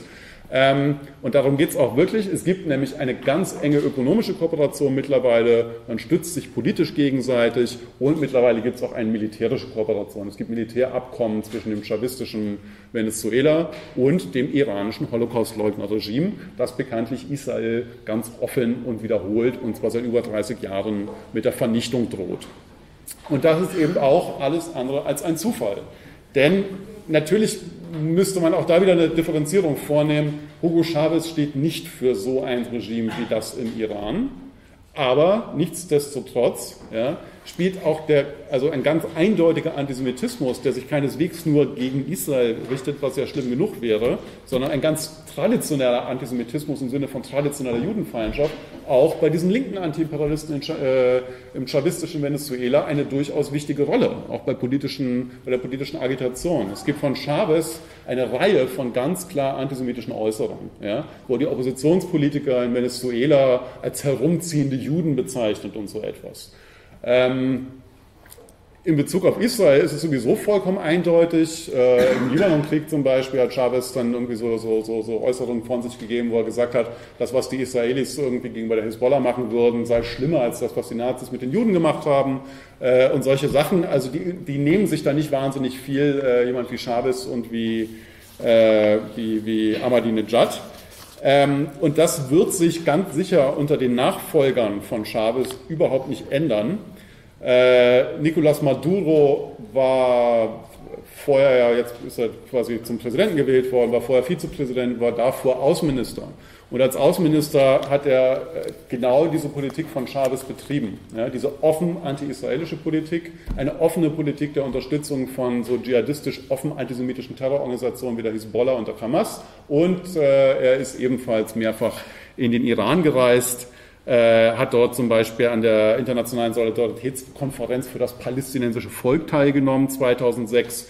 Ähm, und man weiß, was das iranische Regime unter Solidarität mit dem palästinensischen Volk versteht. Sie meinen damit die Zerstörung, die Vernichtung des israelischen Staates, wie, sie, wie die unterschiedlichsten Vertreter dieses Regimes überhaupt nicht müde werden, immer wieder ganz öffentlich zu deklarieren, auch wenn deutsche Antiimperialisten das gerne in Abrede stellen und irgendwas von Übersetzungsfehlern daher schwafeln. Ähm, ja, vielleicht kann ich das nachher in der Diskussion noch weiter bebildern und illustrieren, wie weit dieses Bündnis geht und dass das, wie gesagt, unter Maduro überhaupt nicht irgendwie brüchig werden wird, sondern ich fürchte sogar noch deutlicher, noch äh, äh, expliziter werden wird, ähm, was, wie gesagt, dafür spricht, dass es keinen großen Sinn mehr macht, noch allzu große Unterscheidungen und Differenzierungen zwischen diesen unterschiedlichen Formen von Antiimperialismus vorzunehmen. Ähm, ein paar Wörter mehr vielleicht doch noch zu diesem Antiimperialismus des iranischen Regimes. Das hat übrigens nicht nur Fans bei linken Antiimperialisten. Ja? Also es ist nicht nur so, dass linke Antiimperialisten sich irgendwie heute hinstellen und quasi die Mauer nicht nur für Ahmadinejad, sondern für das ganze Regime im Iran machen, sondern, ich habe vorhin ja schon gesagt, eigentlich müsste man mindestens von dreierlei Antiimperialismus reden. Es gibt ja auch dezidiert rechte Antiimperialisten, hier in Deutschland zum Beispiel die NPD, noch deutlicher und leider auch ja viel erfolgreicher zum Beispiel die Nazis in Ungarn, die Jobbik. Ja? Also nicht eine Partei, die irgendwie so wie die NPD in irgendwelchen Provinzparlamenten vor sich hin dümpelt, äh, sondern eine Partei, die äh, 17 Prozent der Wählerstimmen bekommen hat und in Umfragen mittlerweile bei weit über 20 Prozent liegt und in Ungarn äh, bei Studierenden mittlerweile stimmenstärkste Partei ist. Also in der letzten gab es eine Umfrage, wo sich rund 33 Prozent der Studierenden in Ungarn für die Jobbik äh, ausgesprochen haben. Eine offen antisemitische, rassistische, schlicht einfach Nazi-Partei. Ja? Also das ist eine Verharmlosung, wenn man die Jobbik rechtsextrem oder faschistisch nennt. Ja? Also selbst faschistisch ist eine Verharmlosung. Die stehen nämlich nicht in der Tradition von diesem Präfaschismus äh, Protofaschismus in Ungarn von Miklas Horthy, sondern die stehen ganz explizit in der Tradition der ungarischen Fallkreuzler, also der ungarischen Nazis, ja, die doch nochmal, also sich eben gerade durch ihren Vernichtungsantisemitismus klar von so klassischen Faschisten unterscheiden. Und diese Jobbik, genauso wie die NPD, sind große Bewunderer des iranischen Regimes. Ja. Äh, bei der NPD äh, bei, bei so Neonazi-Versenden in Deutschland kann man T-Shirts und auch in Österreich kann man irgendwie T-Shirts mit Ahmadinejad-Zitaten bestellen. Ne? Eine Welt ohne Zionismus, das finden die großartig. Ja? Das entspricht vollkommen ihrer Vorstellung auch. Bei der Jobbik ist es so, dass es ein ganz offenes Bündnis mittlerweile mit dem iranischen Regime gibt. Der Vorsitzende der ungarisch-iranischen Freundschaftsgesellschaft ist der stellvertretende Fraktionsvorsitzende von der Jobbik im ungarischen Parlament. Das ist der, der letztens damit internationale Schlagzeilen gemacht hat, dass er eine äh, Judenzählung durchführen wollte in Ungarn und im ungarischen Parlament. Äh, und das muss einen, wie gesagt, alles gar nicht wundern, weil die ideologischen Schnittmengen so eindeutig sind, ja, dass man sich eher wundert, warum es ein paar rechtsradikale Organisationen in Europa gibt, die dieses Bündnis nicht ganz so offen eingehen, was dann wieder mit ihrem etwas komplizierten Verhältnis zum Islam und insbesondere den in Europa lebenden Moslems äh, zu tun hat. Wir sehen also bei diesen drei Ausrichtungen des Antiimperialismus, dass letzten Endes der Punkt, wo sie sich alle finden, ist natürlich der Hass auf Israel. Ähm, und mit diesem Hass kann Israel übrigens ganz gut leben, um das kurz zu machen. Womit Israel nicht gut leben kann, ist, dass wenn Leute, die es dermaßen hassen, dass sie ganz deklariert sagen, wir werden euch umbringen, wir werden euch vernichten, wir werden euren Staat zerstören, dass die auch die technologischen Mittel haben, um solche Vernichtungsfantasien und Drohungen auch in die Tat umzusetzen. Und weil das so ist, ja, ist das iranische Regime so ein fundamentales, so ein drängendes Problem für Israel und es sollte eigentlich für alle möglichen Leute ein drängendes und gravierendes Problem sein. Leider ist das nicht so. Israel ist da sehr alleine, ja, wird im Stich gelassen, und zwar insbesondere durch den Rechtsnachfolger des Dritten Reiches, also die Bundesrepublik, Bundesrepublik Deutschland. Denn diese Bundesrepublik Deutschland ist es, die dieses iranische Regime überhaupt erst in die Lage versetzt hat, in den letzten über 30 Jahren, dass es heute dort steht, wo es steht. Nämlich, dass es relativ fest im Sattel sitzt dass es in der Lage ist, die eigene Bevölkerung, die dieses Regime größtenteils bekanntlich hasst und es lieber heute als morgen irgendwie im Orkus der Weltgeschichte verschwinden sehen würde, wo es seit 34 Jahren bereits hingehört, dass es äh, in der Lage ist, diese Bevölkerung, diese Opposition mit brutaler Gewalt äh, niederzuhalten. Sie kennen alle die Geschichte von 2009, wo die Iraner millionenfach auf die Straße gegangen sind, unter Lebensgefahr für ihre persönliche und politische Freiheit demonstriert haben. Und übrigens auch ein paar sehr sympathische Sachen äh, über den Antizionismus dieses Regimes gesagt haben. Ähm, die sind im Stich gelassen worden durch den Westen, durch die globale Linke sowieso und konnten also mehr oder weniger abgeschlachtet werden vom iranischen Regime. Vor allem aber hat ein Land wie Deutschland durch seine über 30-jährigen sehr guten, sowohl politischen als insbesondere auch ökonomischen Kontakte, dieses Regime überhaupt erst in die Lage versetzt, dass es ein sündteures Raketen- und damit im Zusammenhang stehendes Nuklearwaffenprogramm betreiben kann. Ja? Das heißt, es ist der Rechtsnachfolger des Dritten Reiches, die Bundesrepublik Deutschland, ja, die einem Regime, das den Holocaust, das Konferenzen zur Leugnung des Holocaust veranstaltet, das in all seinen Fraktionen, die es beim iranischen Regime natürlich gibt und die sich untereinander spinnefeind sind, ja, das aber in all seinen Fraktionen immer wieder betont und deklariert, dass es den Staat Israel vernichten will und vernichten wird. Ich kann Ihnen da gerne reihenweise Zitate vorlesen, die in diesen günstig zu erwerbenden Büchern da auch mit dementsprechenden Quellenangaben übrigens versehen sind. Ähm, es ist das, die Bundesrepublik Deutschland, die so ein Regime in die Lage versetzt, dass es mit der Politik weitermachen kann, wie es das tut. Und um dagegen etwas zu tun, und damit kommen wir auch schon zum Schluss, haben wir unter anderem dieses Bündnis Stop the Bomb gegründet, was sich unter anderem dafür einsetzt, dass es scharfe ökonomische und politische Sanktionen gegen dieses Regime geben soll. Die gibt es immer noch nicht. Glücklicherweise gibt es mittlerweile so ein paar. Sanktionchen wäre ein bisschen zu wenig gesagt. Es gibt mittlerweile ein paar Maßnahmen, die dieses Regime durchaus treffen. Allein die Ölsanktionen haben diesem Regime im letzten Jahr über 30 Milliarden Euro äh, gekostet. Also Geld, 30 Milliarden Euro, die sie eben nicht zur Verfügung haben, um ihr Atomprogramm weiterzuführen, um die Repression gegen die eigene Bevölkerung weiterzuführen. Das geht schon in die richtige Richtung. Es ist aber natürlich alles viel zu wenig. Und zweitens fordert dieses Bündnis schon mittlerweile seit äh, Ende 2007, dass endlich dieser sogenannte Dialog, diese sogenannten Verhandlungen mit diesem Regime endlich aufhören müssen und dass man stattdessen ganz offen die säkulare, demokratisch-rechtsstaatliche Opposition im Iran im Exil unterstützen muss. Und auch das findet nicht statt in Deutschland. Ganz im Gegenteil, ein Beispiel aus der letzten Zeit, aber man findet das permanent wieder, ein Beispiel aus der letzten Zeit, der iranische Botschafter, also der Botschafter dieses iranischen Regimes, das Konferenzen zur Leugnung des Holocaust organisiert und so weiter und so fort, ich wiederhole das jetzt nicht zehnmal, ähm, der wird von evangelischen Bildungseinrichtungen in Deutschland zu Konferenzen über den Iran eingeladen. Ja, die Evangelische Akademie Locum, eine altehrwürdige Bildungseinrichtung, wo in besseren Zeiten noch jemand wie Adorno referiert hat, äh, hat vor wenigen Wochen eine Konferenz organisiert mit dem sehr ehrenwerten Titel, äh, sinngemäß, wie kann die iranische Zivilgesellschaft gestärkt werden? Und um über dieses Thema zu reden, haben sie keinen einzigen iranischen Oppositionellen, keinen einzigen Exil-Iraner eingeladen, sondern den Botschafter des iranischen Regimes in Deutschland. Ja? Ali Reza Scheich Atta, ein Mann, der früher Gouverneur in den kurdisch-iranischen Provinzen war, dort massenhaft Leute ermordet hat, umgebracht hat, massenhaft Todesurteile unterschrieben hat, ein direkter Vertrauter von Ahmadinejad übrigens auch ist. Ja, also der gehört auch nicht zu irgendeiner Fraktion beim iranischen Regime, sondern das ist ein Mann von Ahmadinejad. Dieser Mann, den lädt man ein, um über die Stärkung der iranischen Zivilgesellschaft zu diskutieren. Man ist ein bisschen sprachlos. Ungefähr zeitgleich gab es in Hamburg mal wieder ein Werbeseminar für eine Ausweitung des Iran-Business. Also nicht stärkere Sanktionen, mehr Druck auf das iranische Regime ausüben, sondern die Deutsche-Iranische Handelskammer veranstaltet regelmäßig Werbekampagnen für einen Ausbau, beziehungsweise berät deutsche Unternehmen, wie sie trotz der bestehenden Sanktionen weiterhin großartige Geschäfte mit dem iranischen Regime machen können. Genau das Gleiche gibt es natürlich in Österreich, aber nachdem wir jetzt hier sind, rede ich mal über Deutschland. Und Deutschland ist natürlich auch äh, in der Weltpolitik einfach viel wichtiger, viel entscheidender.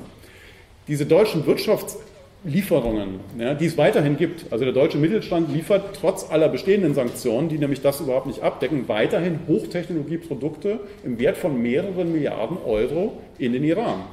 Ja.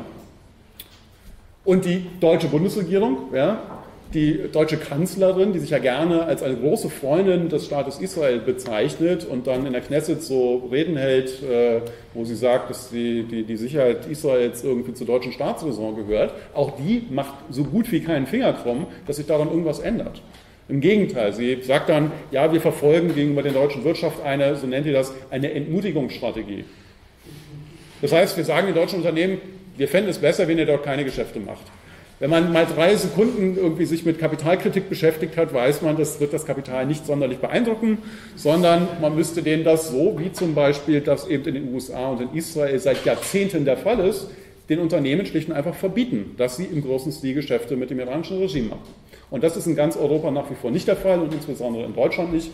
Und das ist äh, leider kein Skandal, sondern ein Ausdruck der postnationalsozialistischen Normalität, in dieser Gesellschaft, gegen die man aber umso mehr auftreten sollte. Und damit höre ich erstmal auf, hoffe, das war nicht äh, zu viel und zu durcheinander. Bin mir aber sicher, es gibt genügend Stoff für Nachfragen und Diskussionen. Vielen Dank für die geduldige Aufmerksamkeit.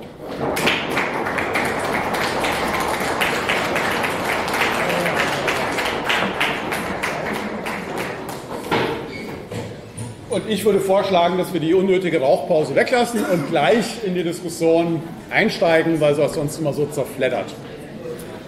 So gesehen würde ich vorschlagen, dass wir sofort einsteigen und wenn Sie Nachfragen haben, Einwände haben,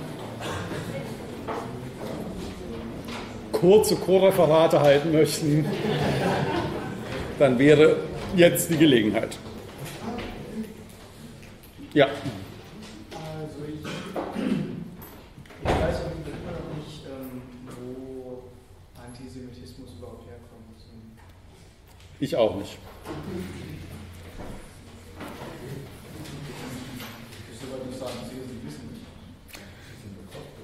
Ja, das ist schwierig. Das liegt in der Sache begründet, dass das nicht so einfach ist. Ich äh, ich beschäftige mich mittlerweile mehrere Jahrzehnte mit der Kritik des Antisemitismus.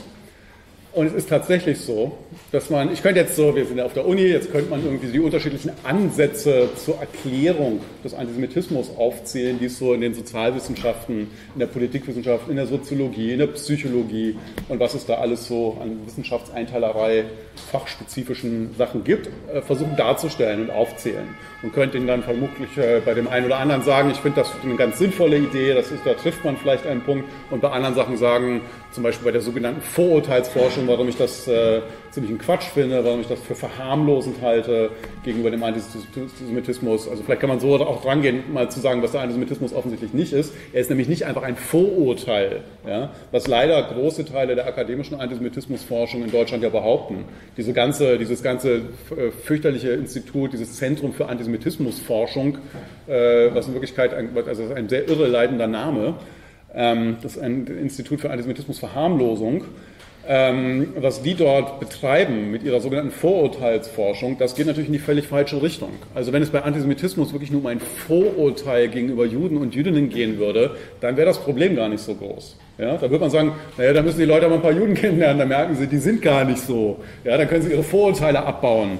Oder wenn sie irgendwie fürchterliche Dinge über den jüdischen Staat sagen, dann sagen wir, ja, dann organisiert man mal eine Reise, dann sollen die da mal hinfahren, dann sehen die, das ist irgendwie alles ganz anders und dann sind sie von ihren Vorurteilen kuriert dann würde ich mich ehrlich, ehrlich, gesagt nicht schon seit 20 Jahren mit dem Thema beschäftigen. Da wäre es nämlich nicht so ein großes Problem, da wäre es auch nicht so gefährlich. Der Antisemitismus ist offensichtlich sehr viel mehr. Der ist so eine Art, der ist geradezu eine, eine allumfassende Weltanschauung. Das ist eine Art Welterklärungsmuster. Er ist, dann erstmal, genau, erstmal vielleicht, warum ich so darauf geantwortet habe, ja, ich weiß das auch nicht. Ähm, es bleibt, selbst wenn man selbst wenn man, was ich vielleicht gleich in ein paar Worten versuchen werde, selbst wenn man ausgehend von der kritischen Theorie, was ich dann drängend empfehlen würde, von den Gedanken, die zum Beispiel oder insbesondere Adorno und Horkheimer dazu formuliert haben, von denen gibt es einen ganz wichtigen Text zur Kritik des Antisemitismus, der auch heute noch maßgeblich ist, der Maßstäbe setzt, nämlich die Elemente des Antisemitismus, die sich am Ende ihres Hauptwerks der Dialektik der Aufklärung finden. Ja? Die versuchen dort nicht den Antisemitismus zu erklären. Die wissen, die sind sich bewusst darüber, dass der Gegenstand selber sich gegen eine Erklärung, so wie man das normalerweise kennt, ja, dass man da irgendwie sagt, ja, weil so ist, passiert halt das und das, dann ne, kann man so logische Schlüsse irgendwie machen, der sperrt sich dagegen. Deswegen ist der Untertitel von diesem nach wie vor ganz zentralen äh, Text zur Kritik des Antisemitismus bekanntlich auch Grenzen der Aufklärung. Ja, die sind sich bewusst darüber, dass das, also bei einem Antisemiten mit einem quasi, um es akademisch auszudrücken, mit einem geschlossenen antisemitischen Weltbild, ne, da kann man eigentlich machen, was man will. Dann kann man alles Mögliche versuchen, also man kann ihm sagen, nein, das stimmt gar nicht, den Juden gehört gar nicht irgendwie die ganze Finanzwelt und die Medienwelt und äh, die ganzen Supermarktketten, wie das gerade bei so türkischen Jugendlichen mittlerweile unglaublich weit verbreitet ist. Ja, in Österreich zum Beispiel, die glauben, den Juden gehören alle Supermärkte. Warum gerade Supermärkte, weiß ich auch nicht. Ähm, da kommt man nicht besonders weit. Ja? Also mit so Hinweisen auf die empirische Falschheit einfach von diesen antisemitischen Wahnvorstellungen kommt man nicht besonders weit. Und deswegen kann es eigentlich auch nur um genau das gehen, was Adorno und Horkheimer versucht haben, um sowas wie eine, ein ideologiekritisches Dechiffrieren von diesem antisemitischen Bewusstsein. Man muss, äh, also das, das, das oberste Gebot wäre immer, wenn man anfängt, sich irgendwie mit einer Kritik des Antisemitismus zu beschäftigen, es geht bei Antisemitismuskritik niemals um Juden und Jüdinnen. Es geht nicht um das Judentum und es geht auch nicht um den jüdischen Staat. Es ist vollkommen egal, was Juden machen, was der jüdische Staat macht, was das Judentum irgendwie als religiöse Angelegenheit so von sich gibt. Man muss sich also nicht mit den Objekten des Antisemitismus, mit den Opfern des Antisemitismus beschäftigen, sondern mit den Subjekten, also mit den Antisemiten selber. Man muss sich angucken, was die sozusagen für was sie für psychische Bedürfnisse haben, dass sie also sich in diese, diesem Antisemitismus in gewisser Weise hingeben. Man muss gucken, inwieweit der Antisemitismus eine wahnhafte, eine projektive Reaktion auf sowas wie kapitalistische Moderne ist. Ähm, und dann kann man versuchen, so wie Adorno und Horkheimer das auch machen und wie viele Leute im Anschluss daran das dann auch versucht haben, den Antisemitismus eben nicht zu erklären, weil das immer so gibt, diese Erklärung hat immer bereits so, die birgt so eine halbe Entschuldigung immer schon mit sich. Ne? Wenn man das lupenrein erklären kann, kann man nur sagen, dann haben die Antisemiten auch recht. Das entzieht sich letztendlich dieser Erklärbarkeit. Man kann es dechiffrieren, man kann versuchen, einen Begriff von, das ist eine, eine, eine Formulierung von Adorno und Horkheimer selber, von einer antisemitischen Gesellschaft zu etablieren, die man eben in Beziehung setzen muss zu einer Gesellschaft, die bekanntlich durch die Imperative von Kapitalverwertung und Herrschaftsloyalität geprägt sind. Ja, davon ausgehend müsste man versuchen, etwas über, über den Antisemitismus ähm, auszusagen. Und letzten Endes muss man sich immer darüber bewusst bleiben, dass es dieses unmittelbare, also das ist eigentlich bei allen Gegenständen so, mit denen sich eine materialistische Kritik beschäftigt, aber im Antisemitismus springt es noch viel mehr ins Auge. Es gibt äh, Gerade in der akademischen Antisemitismusforschung hat man oft so das Gefühl, die behandeln diesen Gegenstand wie alle möglichen anderen auch. Und das geht nicht. Ne? Dieser Gegenstand hat sozusagen, moralischer Imperativ ist wahrscheinlich ein blödes Wort, aber der hat, man kann ihn quasi nur ausgehend vom adornischen kategorischen Imperativ behandeln, ja, diesen Gegenstand. Es geht bei Antisemitismus letzten Endes darum, wenn man sich mit ihm beschäftigt, dass man ihn unmöglich macht. Beziehungsweise, also letzten Endes, dass man eine Gesellschaft schafft, wo er wirklich insofern kritisiert werden kann, dass es aus der Welt geschafft werden kann. Und solange das nicht geht, geht es darum, die Antisemiten daran zu hindern, dass sie ihr mörderisches Tun in die Tat umsetzen können. Adornischer kategorischer Imperativ sagt in Reflexion auf Auschwitz, ja, dass man im Stande der Unfreiheit, also in einer Gesellschaft, die den Marxischen kategorischen Imperativ nicht umsetzen konnte. Ja, Marx hat als junger Mann 1844 geschrieben, es würde darum gehen, alle Verhältnisse umzuwerfen, in denen der Mensch ein erniedrigtes, ein geknechtetes, ein verlassenes und ein verächtliches Wesen ist. Eine sehr gute Idee ja, das bekanntlich aber nicht in die Tat umgesetzt wurde und stattdessen ist die Geschichte in der Katastrophe geendet, in der Shoah, im Holocaust, in der industriell betriebenen, in der bürokratisch geplanten Massenvernichtung. Und in Reflexion darauf sagt Adorno, im Stande der Unfreiheit, also solange der marxische kategorische Imperativ nicht Wirklichkeit wird, hat, er schreibt, hat Hitler, man müsste genauer eigentlich sagen, hat die deutsche Volksgemeinschaft den Menschen einen neuen kategorischen Imperativ aufgezwungen, nämlich alles Denken und Handeln so einzurichten, dass Auschwitz und nichts Ähnliches sich noch einmal wiederhole. So. Und das sollte man allen akademischen Antisemitismusforschern wirklich um die Ohren hauen, weil bei denen hat man oft das Gefühl, das ist reiner Zufall, dass sie sich jetzt irgendwie mit Antisemitismus beschäftigen. Wahrscheinlich gab es gerade einen guten Förderantrag. Ja, die könnten sich, die machen das dermaßen leidenschaftslos auch, ja, die können sich genauso gut mit isländischer Steuerpolitik auseinandersetzen. Ja, das ist, spielt eigentlich überhaupt keine Rolle. Und gerade mit diesem Thema, mit diesem Gegenstand kann man sich so nicht auseinandersetzen, sondern es impliziert immer das, auf, das unmittelbare Auftreten, der Wunsch der Verhinderung des Antisemitismus. Was ihn natürlich immer noch nicht erklärt hat, und ich weiß, dass das vermutlich eine unbefriedigende Antwort ist. Oder vielleicht auch eine zu ausführliche, ich weiß nicht. Ich kann auch versuchen, kürzer zu antworten. Behaupte ich mal. Ja. Machen Sie es nicht ein bisschen einfach zu sagen, die Gründung Israels ist einfach Produkt des Antisemitismus?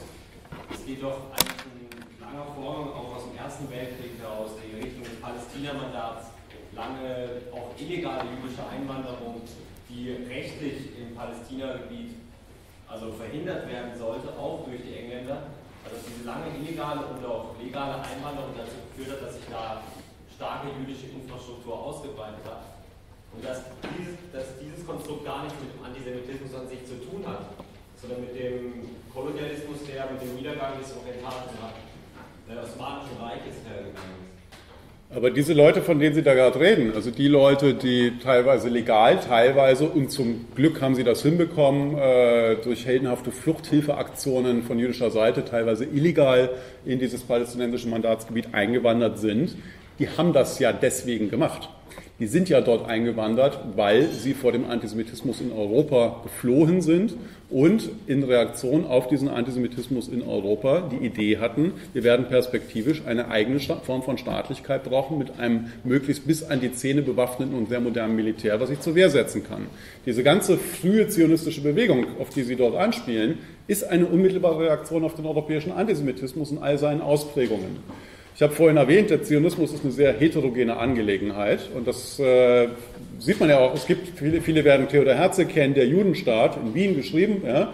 Das war so eine Art bürgerlich-liberaler nationaler Zionismus. Das war eine, weitgehend eine Reaktion auf den westeuropäischen Antisemitismus. Theodor Herzl war nämlich damals als Korrespondent der neuen freien Presse, gibt es heute noch, wichtige Tageszeitung, die Presse, damals wahrscheinlich die wichtigste Zeitung in ganz Mitteleuropa als Korrespondent für die neue freie Presse in Frankreich, und zwar zur Zeit des Dreyfus-Prozesses.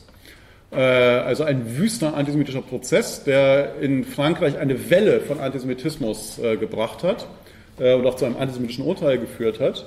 Und davon war Herze vollkommen entsetzt, weil das eben nicht in den osteuropäischen Ländern war, wo man davon ausgegangen ist, okay, das sind sehr antiquierte gesellschaftliche Strukturen, deswegen gibt es dort dieses reaktionäre Bewusstsein in der Ukraine, in Russland und, und darum sei der Antisemitismus dort so stark und deswegen gibt es die Pogrome, sondern es war das Land der französischen Revolution. Und da hat sich Herze gedacht, der früher auch, wie viele bürgerlich-liberale Juden gedacht haben, na ja, das Problem des Antisemitismus wird sich mit der Zeit lösen, wir werden uns assimilieren. Ja, der hatte mit Religion nicht besonders viel Mut und am Schabbat gab es wahrscheinlich immer Schweinerippchen. Ähm, das war nicht sein, sein, sein Ding, aber diese, dieses Erlebnis ähm, von dass in einem Land wie Frankreich dieser Antisemitismus dermaßen stark sein kann, im Mutterland der Aufklärung. Ja, das hat ihn zu der Idee gebracht, okay, das muss, wir müssen uns was anderes überlegen, man braucht einen eigenen Staat. Die ganzen osteuropäischen Juden, die den größten Teil der, dieser frühen zionistischen Einwanderung gestellt haben, auf die Sie gerade anspielen, die sind natürlich als Reaktion auf diesen grauenhaften Pogrom-Antisemitismus in Osteuropa geflohen. Eines der wichtigsten Bücher, acht Jahre vorher als Judenstaat, ähm, Autoemanzipation, ist von Leon Pinsker geschrieben worden. Das ist eine ganz unmittelbare Reaktion auf diese osteuropäischen Pogrome. Und so könnte man das jetzt die Reihe durchgehen. Ähm, das war damals zwar nicht die Mehrheitsposition bei den weltweiten Juden und Jüdinnen, ja, im Gegenteil, es war so eine Minderheitenposition, aber jene Leute, die damals schon nach Israel eingewandert sind, haben das auf zionistischen Gründen getan und dieser Zionismus begründet sich im Antisemitismus. Er ist immer eine Reaktion darauf. Oder was meinen Sie, was, was der Grund gewesen sei, warum die das gemacht haben? Ja, ich wollte nur mal darauf eingehen, was eigentlich zur Gründung geführt hatte, als diese ganzen imperialen Mächte sich in Palästina befunden haben. Das war eine befriedigende Antwort. Ähm, können Sie auch noch mal kurz durch die Bedrohung von Israel selber ausgehen? Jetzt nicht nur vom Iran aus, wie Sie die bewerten. Welche Bedrohung? Bedrohung in Form von Massenvernichtungswaffen wie Atombomben. Sie meinen jetzt nicht die Bedrohung, der Israel ausgesetzt ist, sondern Sie wollen sagen, dass Israel irgendjemand mit Atomwaffen bedroht? Ist, ja. Für wen und wodurch? Zum Beispiel auch den Iran, auch Palästina. Die rechtfertigen sich zum Beispiel Angriffe auf Syrien oder so vor ein paar Tagen. Also das sind ja letztendlich auch Bedrohungen. Ähm, also einerseits bin ich natürlich nicht der Pressesprecher der israelischen Regierung, insofern ist das gar nicht meine Aufgabe, diese Angriffe zu rechtfertigen. Ähm, ich denke, die rechtfertigen sich auch fast von alleine. Und natürlich geht es da nicht um eine Bedrohung, sondern es geht, es geht um die Ausübung dessen, was das Wesen des Zionismus ausmacht, nämlich die Einsicht, dass man angesichts von antisemitischen Bedrohungen, die letzten Endes auf Massenmord an Juden und Jüdinnen hinauslaufen, von der ganzen Welt im Stich gelassen wird. Weil das so ist, hat man sich eine sehr schlagkräftige Armee aufgebaut, die dazu in der Lage ist, eigenständig und wenn notwendig präventiv gegen solche Bedrohungen vorzugehen. Und genau das macht Israel meiner Meinung nach vollkommen zu Recht. Das haben sie zum Beispiel, ich komme gleich zu dem aktuellen Beispiel mit Syrien, aber das ist ja, machen sie historisch schon immer so, genau genommen fängt das an mit äh, 1956, dem Sinai-Krieg. Da hat übrigens Max Horkheimer wieder, um den nochmal ins Spiel zu bringen, damals schon äh, gibt es noch eine Notiz von ihm über den Sinai-Krieg, wo er ganz richtig sieht, dass Israel anders zum Beispiel als eine Großmacht wie die USA zeitweise aggressiv und präventiv agieren muss, wenn es sich in einer feindseligen Umwelt behaupten möchte. Und das war eine dezidiert feindselige Umwelt. Israel war damals ausnahmslos von arabischen Staaten umgeben, deren erklärtes Ziel es war, den Staat Israel zu vernichten, auszulöschen. Ja? Und das hat überhaupt nichts mit der Situation der Palästinenser oder so etwas zu tun, sondern schlicht und einfach, weil sie gesagt haben, nein, wir werden hier keinen jüdischen Staat akzeptieren. Und seitdem hat Israel das immer wieder getan. Israel hat zum Beispiel und zum Glück den Atomreaktor von Saddam Hussein zerbombt, 1981 in Osirak. Ja? Da waren alle dagegen, einschließlich der Amerikaner. Ronald Reagan hat daraufhin äh, gewisse Waffenlieferungen an Israel ausgesetzt. Ronald Reagan, ich, Sie merken schon, ich sage gerne noch mal was Negatives über die USA, aber an der richtigen Stelle. Ähm, es war Ronald Reagan, der seine UN-Botschafterin angewiesen hat daraufhin, ja, zusammen mit der UN-Botschafterin von Saddam Hussein eine anti-israelische Resolution zu verabschieden. Und dann haben sie gemerkt, verdammt, die Israelis hatten recht, der hat wirklich einen Atomreaktor dort stehen gehabt. Und das war eigentlich ganz gut, dass sie den zerbombt haben. Äh, allerhöchstwahrscheinlich haben sie auch den syrischen Atomreaktor vor ein paar Jahren ähm, zerbombt. Und auch das halte ich für zwingend notwendig und richtig. Das ist eine präventiv ausgeübte Selbstverteidigung des israelischen Staates, die, wenn sie nicht passieren würde, die Existenz Israels in Frage stellen würde. Was jetzt ganz aktuell passiert, ist ziemlich eindeutig. Also auch wenn Israel das nicht großartig kommentiert und die sich da irgendwie mal ein bisschen bedeckt halten. Aber letzten Endes weiß jeder, was dort passiert ist, weil das ja auch schon lange angekündigt war. Israel hat am Beginn des Syrien-Konfliktes gesagt, wir werden es nicht akzeptieren, dass aus diesem Land Waffenarsenale, insbesondere chemische und biologische Waffen. Syrien ist seit Jahrzehnten eines der Länder, was die größte Menge, zugegebenerweise, also allgemein bekannt und auch belegterweise, die größte Menge an chemischen und biologischen Kampfstoffen zur Verfügung hat. Syrien ist gleichzeitig einer der engsten Verbündeten sowohl des iranischen Regimes als auch der Hisbollah im Libanon. Die Hisbollah ist nicht irgendeine Partei, sondern das ist eine offen antisemitische dschihadistische Miliz, die genau die gleichen Ziele verfolgt wie das iranische Regime. Ja? Hassan Nasrallah, Generalsekretär der Hisbollah, hat einmal sehr schön den Satz gesagt, er fängt fast zionistisch an, geht dann aber natürlich noch ein bisschen weiter. Er hat gesagt, es ist sehr gut, wenn sich alle Juden dieser Welt in Israel versammeln, was die Zionisten bekanntlich auch wollen. Aber der Satz geht eben weiter, weil das erspart uns die Mühe, sie auf der ganzen Welt verfolgen zu müssen. Ja? Also da gibt es auch keinen Interpretationsspielraum oder so, was solche Organisationen wollen. Die plärren das geradezu in die Welt hinaus. Diese Hisbollah ist übrigens in Europa nach wie vor skandalöserweise nicht verboten, steht nicht auf der Terrororganisation. Die kann Spenden sammeln hier in Freiburg für ihre Politik und für ihre äh, militärische Ausrüstung. Ähm, die SPD hat doch vor wenigen Jahren in Beirut einige, also nicht die SPD, die Friedrich-Ebert-Stiftung hat noch vor wenigen Jahren eine gemeinsame Konferenz mit dieser Hisbollah in Beirut organisiert und so weiter. Ja. Ähm, Israel von Anfang an gesagt, dass es nicht akzeptieren wird, dass irgendwelche von diesen Waffen ja, an die Hisbollah geraten. Was ich vollkommen richtig finde. Und wenn jetzt Militärschläge von der israelischen Luftwaffe offensichtlich genau gegen so etwas stattfindet, muss ich das groß rechtfertigen? Ich frage mich immer, was will man denn eigentlich dagegen sagen? Also was spricht, denn, was spricht denn dagegen, dass der Staat Israel genau das macht, dass er verhindert, dass seine Todfeinde, was auch in jeglicher anderer Hinsicht grauenhafte Leute sind, ne? weil die Hezbollah ja bekanntlich nicht nur den Staat Israel vernichten möchte, sondern Schwule hasst, die Todesstrafe für Homosexuelle ist, Frauen drangsaliert und diskriminiert, äh, gegen politische Gegner mit Waffengewalt vorgeht, also in jeglicher anderer Hinsicht auch ein unakademisch ausgedrückt grauenhafter Scheißverein ist, ja, den man einfach bekämpfen muss. Was ist denn daran falsch, wenn Israel verhindert, dass die ohnehin schon bis an die Zähne bewaffnete Hisbollah ja, also es gibt übrigens einen UN-Beschluss, nach 2006 hätten die sich gar nicht wieder bewaffnen dürfen, haben sie aber natürlich, weil diese UN-Beschlüsse halt kein Mensch durchsetzt. Und dann erst recht nicht die deutsche Marine, die da so ein bisschen rumschippert vom Libanon und halt zuguckt, wie die sich wieder bewaffnen. Ähm, dass Israel wenigstens verhindert, dass die eine neue Qualität von Vernichtungsarsenal plötzlich haben. Das ist vollkommen richtig.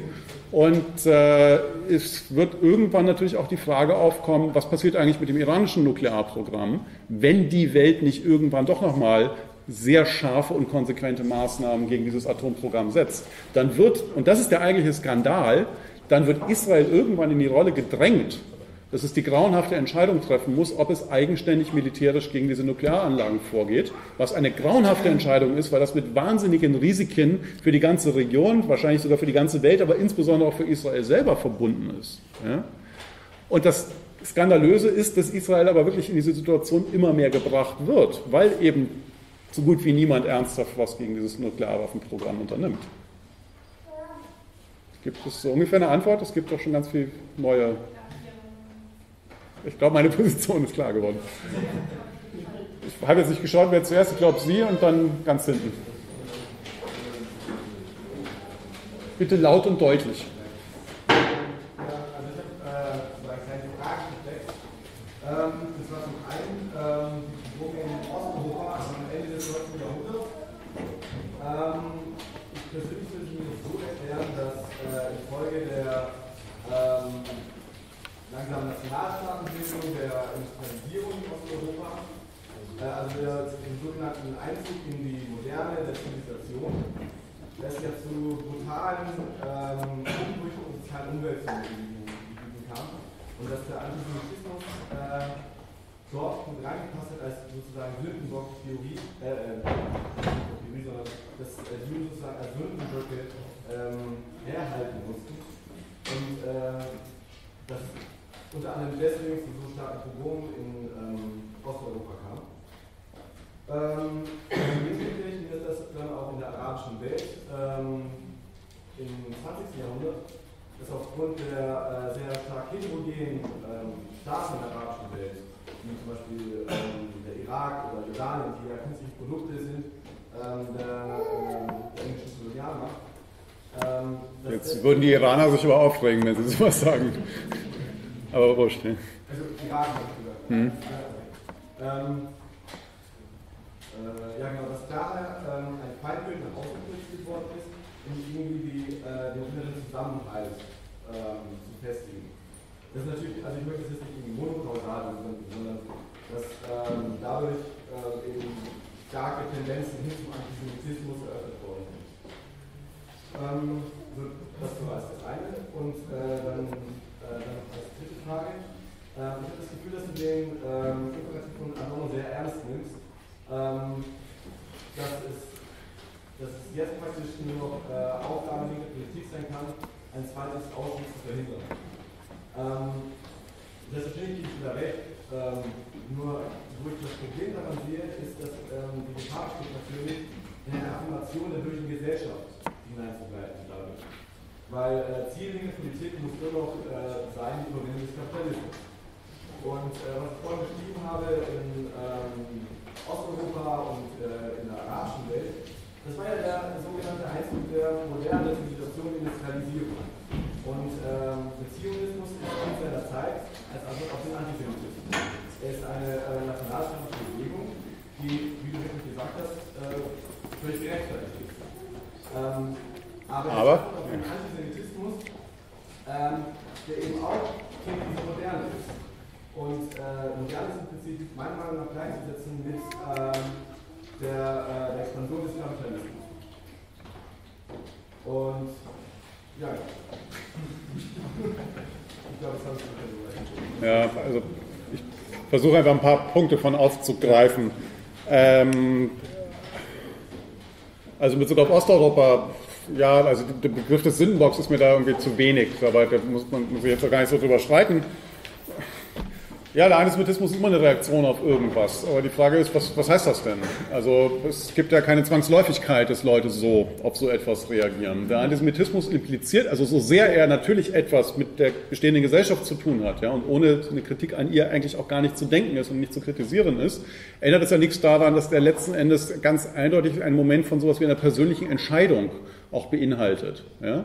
Also man muss, wenn du jetzt schon so mit auch Kritik an der bürgerlichen Gesellschaft ankommst und so, es gibt in, der, in dieser Kritik des Fetischismus, wie Marx sie in der, in der Kritik der politischen Ökonomie formuliert hat, an dieser Mystifi Selbstmystifizierung der bürgerlichen Gesellschaft, so, da spricht man dann von notwendig falschem Bewusstsein und solchen Dingen und da kommt man dann irgendwie relativ schnell drauf, ja, also selbst noch der Kritiker von so einem fetischistischen, falschen, mystifizierenden, sich selbst mystifizierenden Bewusstsein kommt eigentlich nicht heraus, äh, aus, dass er halt in dieser Gesellschaft lebt und sich selber auch fetischistisch verhalten muss, allein dadurch, dass er irgendwie Gebrauchsgegenstände mit Geld bezahlt.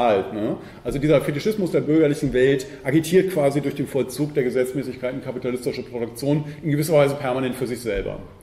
Aber Antisemit muss niemand sein in dieser Gesellschaft.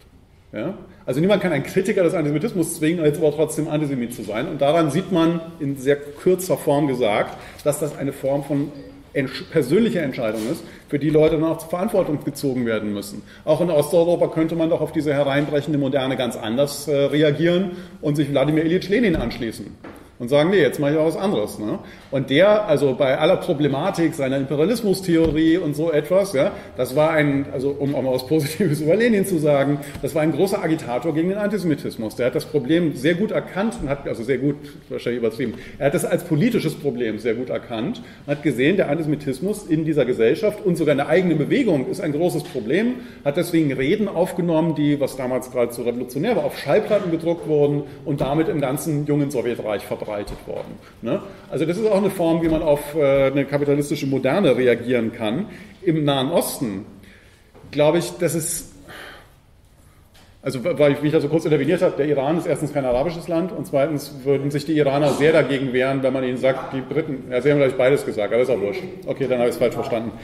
Ähm, das Entscheidende ist, ich glaube, dass man, wenn man über die Entstehung des modernen arabischen und islamischen Antisemitismus redet, dass man das in einer ganz ähnlichen Art und Weise machen muss, wie wenn man über den europäischen Antisemitismus redet. Das ist nicht einfach irgendwie ein Import oder ein Export, wo irgendwie ein paar Intellektuelle in Ägypten gesagt haben, so, ach, jetzt übernehmen wir das mal aus Europa. Das gibt es ja, es gibt so Antisemitismusforscher, die vertreten diese Im- und Export-These.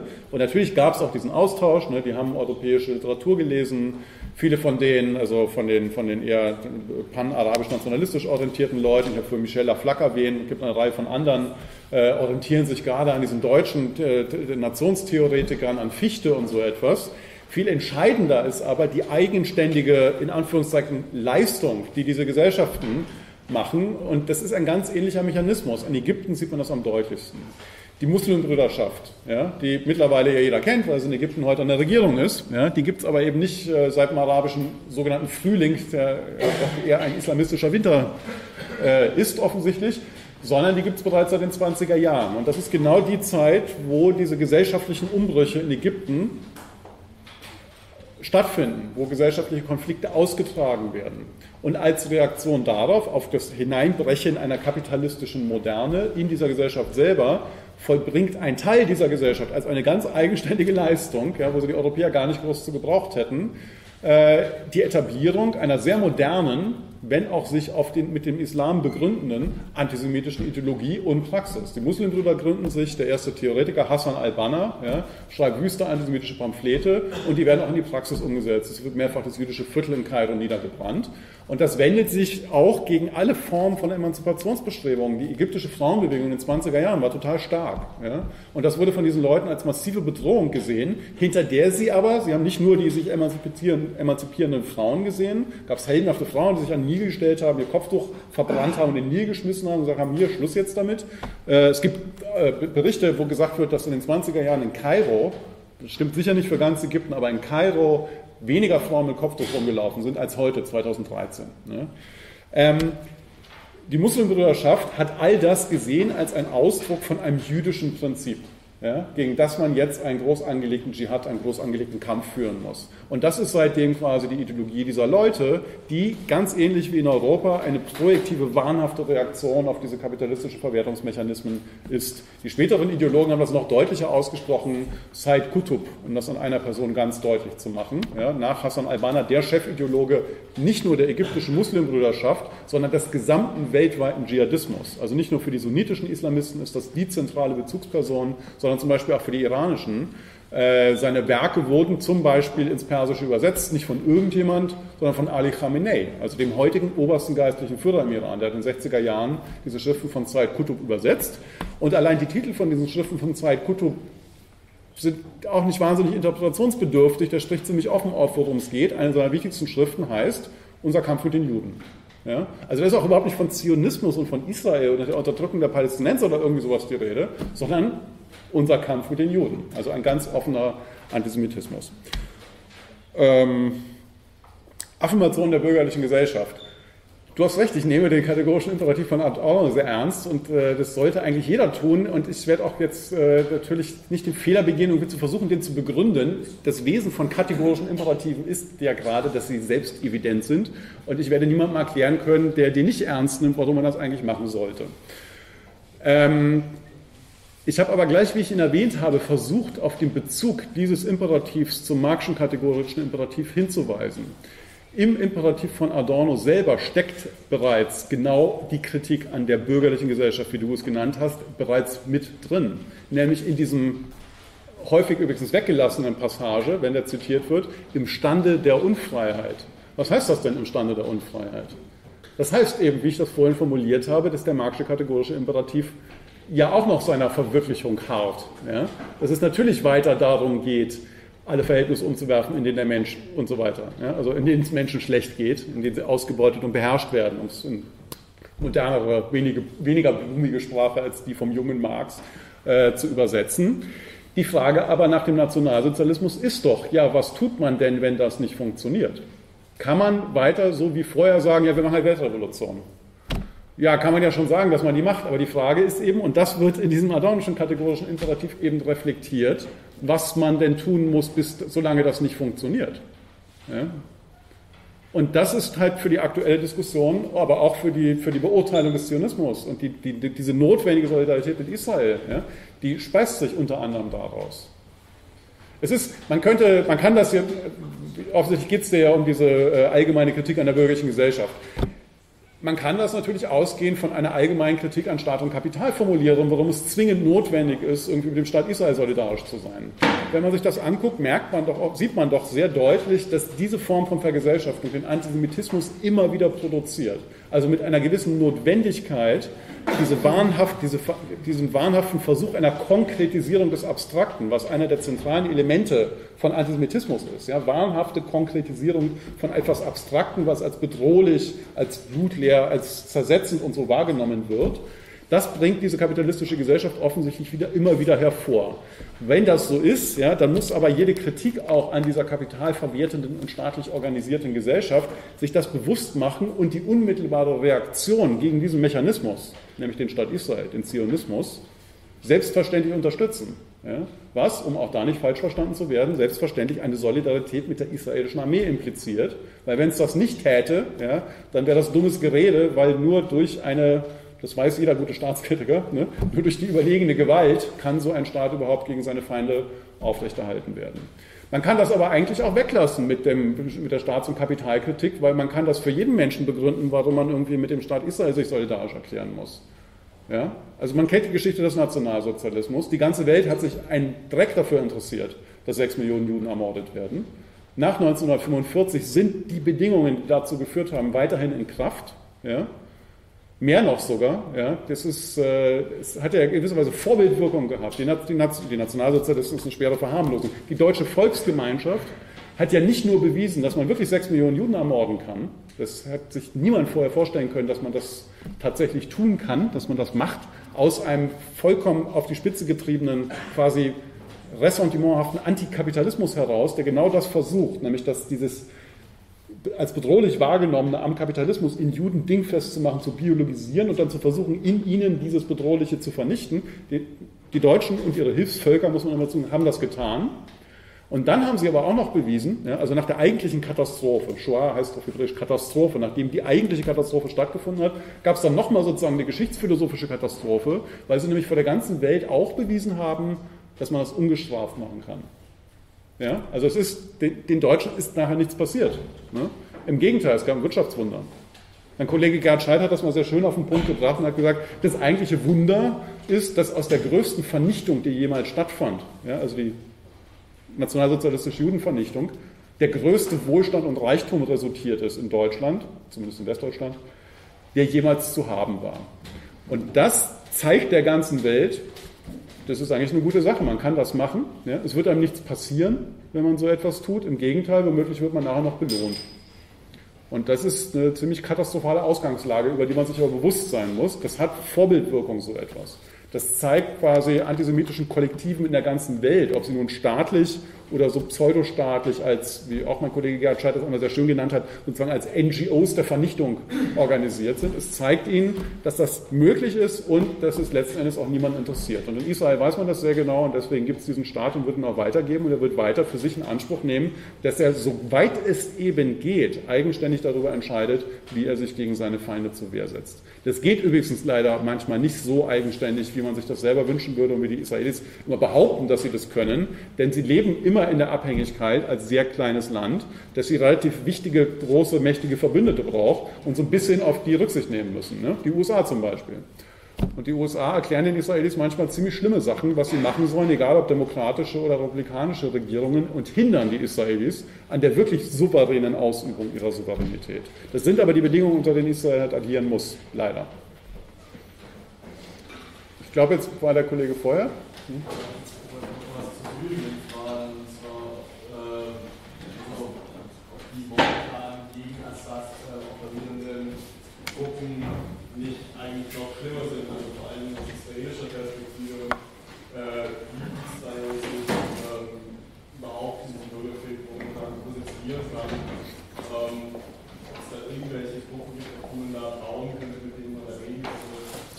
Es gab haufenweise Gruppen und es gab sogar die überwiegende Mehrheit jener Leute, die gegen Assad gekämpft haben, auf die man sich sehr stark nicht nur hätte beziehen müssen, sondern die man massiv hätte unterstützen müssen, die man hätte Waffen liefern müssen, die man sehr früh dabei hätte unterstützen müssen, militärisch das Assad-Regime zu beseitigen. Und es ist eine, ich nehme absichtlich so ein Wort in den Mund, es ist eine Katastrophe und eine Tragödie, dass das nicht passiert ist. Denn mittlerweile ist es so, dass das, was am Anfang alle gesagt haben als Begründung dafür, warum man die Aufständischen nicht unterstützt, was damals nicht gestimmt hat, was einfach eine Lüge war, nämlich dass das alles üble Dschihadisten sind mit Al-Qaida-Kontakten, das hat nicht gestimmt, das hat über Monate lang hinweg nicht gestimmt, das stimmt heute weitgehend. Aber warum? weil der Westen sich schlicht und einfach geweigert hat, diese Leute zu unterstützen.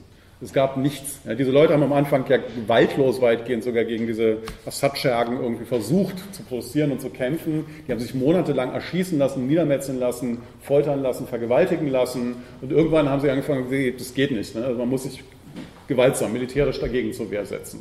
Ja? Ähm, und das, gibt diese, das sind diese ganzen Volkskomitees, Dorfkomitees, wie sie sich auch immer genannt haben, gewesen. Das waren natürlich überhaupt keine üblen Islamisten. Es gab so gut wie keine Al-Qaida-Strukturen in Syrien. Es gab so gut wie keine Al-Qaida-Unterstützer innerhalb der syrischen Bevölkerung. Die waren völlig irrelevant. Die sind dadurch relevant geworden, dass es irgendwann einen Zeitpunkt gab, wo die salafistischen Gruppierungen die salafistischen Regierungen, insbesondere Saudi-Arabien, Katar, Unmengen von Geld und Waffen in dieses Land reingepumpt haben. Und natürlich an wen? Naja, an die kleinen Gruppierungen, die genau ihre Politik verfolgt haben. Und die wie auch immer orientiert, pro-westlich, pseudoliberal, gemäßigt islamisch, wie auch immer man das nennen mag, und da gibt es die ganze Bandbreite, ist im Westen hausieren gegangen, hat gefleht und gebettelt und hat, gesagt, hat genau das gesagt, hat gesagt, wenn das so weitergeht, wenn ihr uns nichts gebt, wenn ihr uns keine Waffen gebt, mit denen wir uns wehren können gegen diese permanenten Angriffe der Assad-Schergen und Milizen und der Armee, ja, dann werden irgendwann nur diese sehr gut ausgebildeten, mittlerweile auch kampferfahrenen Dschihadisten übrig bleiben und dann wird sich die Bevölkerung denen immer weiter annähern, selbst wenn sie sie ideologisch hasst und überhaupt nicht haben möchte. Aber wir sind, haben eine Kriegssituation und irgendwann wird man sich an die Seite von denen stellen, die diejenigen sind, die für einen kämpfen.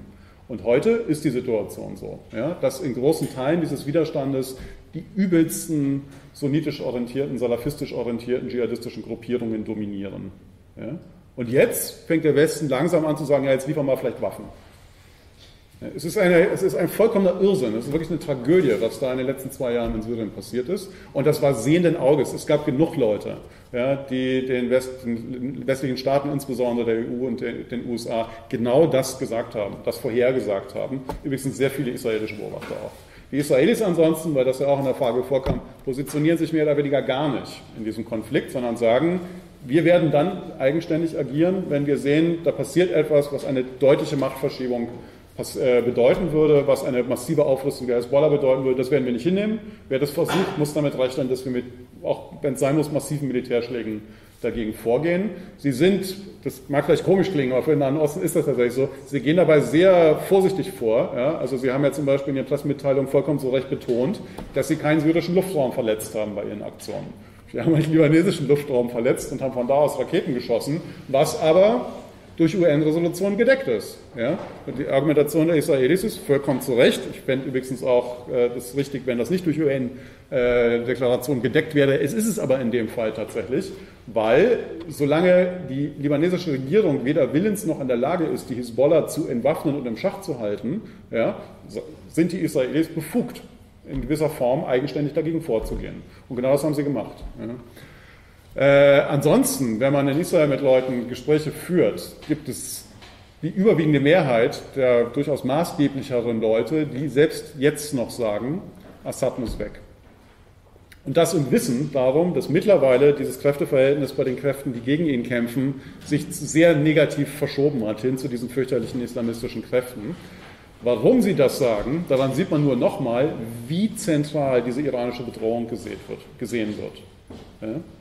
Da schlägt dann sozusagen der, der, israelische Pragmatismus durch, der absolut notwendig ist, wenn man sich da in so einem Land, äh, in so einer Gegend, in so einer feindlichen Umwelt über Jahrzehnte behaupten möchte. Die Analyse ist seit fast 20 Jahren, das eigentliche die existenzielle Bedrohung, die für uns dort heraufdreunt, ist das iranische Nuklearwaffenprogramm. Das ist etwas, mit dem wir nicht leben können, mit dem wir nicht klarkommen. Wo wir, wenn das einmal existiert, eigentlich nicht mehr so genau wissen, was wir jetzt eigentlich machen sollen. Und deswegen müssen wir das mit allen Mitteln verhindern. Das heißt, es könnte irgendwann dazu kommen, dass es aufgrund dieses Nuklearprogramms zu einer militärischen Konfrontation mit dem iranischen Regime kommt.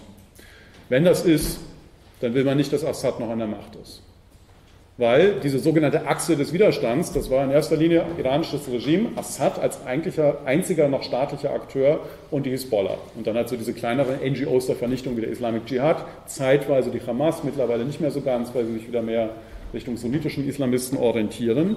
Aber man will auf jeden Fall, ja, dass dort kein Assad-Regime mehr ist, was über eine durchaus schlagkräftige konventionelle Armee und über nicht konventionelle, durchaus auch für Israel sehr bedrohliche Kampfstoffe verfügt dass der dann noch an der Macht ist.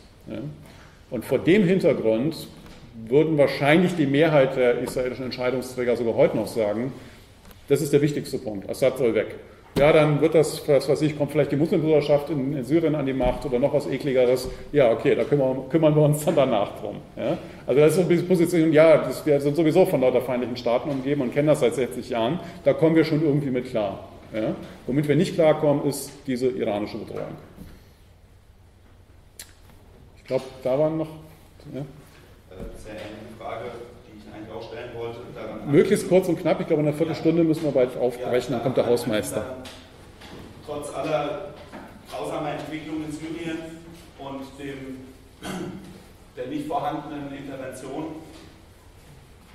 von westlichen Staaten, ähm, was bestehen heute quasi für Interventionsmöglichkeiten und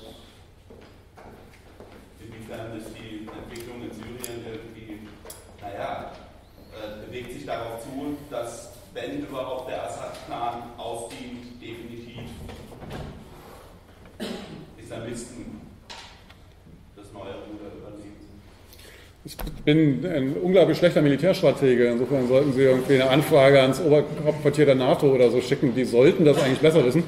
Äh, aber ja, wenn Sie mich fragen, natürlich wird es darum gehen, die Fehler der letzten zwei Jahre möglichst noch irgendwie, also wieder gut machen kann man die gar nicht, aber so ein bisschen auszubessern. Und halt jetzt die Gruppierung, die es natürlich immer noch gibt, ja, die überhaupt keinen Bock darauf haben, zusammen mit diesen fürchterlichen Islamisten gegen Assad zu kämpfen, dass man die massiv unterstützt und fördert und sagt, hier, ihr habt ihr Waffen, jetzt könnt ihr auch kämpfen. Ihr könnt, es gibt großartige Interviews mit solchen Leuten, ja, die klipp und klar sagen, okay, jetzt sind wir in der Situation, wir können gar nicht anders, als mit diesen Leuten zu kämpfen. Wir bereiten uns jetzt schon darauf vor, dass nach dem Sturz von Assad wir mit diesen Leuten werden kämpfen müssen. Wir wissen ganz genau, die verschwinden nicht von alleine. Die müssen wir dann auch noch fertig machen. Ja, dabei, genauso wird es sein äh, und dabei muss man diese Leute unterstützen. So. Ja. Ich hätte gerne Sie mal gefragt, ähm, ob es denn da, ob es irgendwelche Punkte gibt, die Sie die israelische Politik als problematisch bezeichnen würden? Meinen Sie die israelische Politik? Ja. Mhm. Ja, und vielleicht auch im Sinne von, von einer, irgendeiner Meditation, äh, Mediation. Ähm, ja, warum, warum Sie da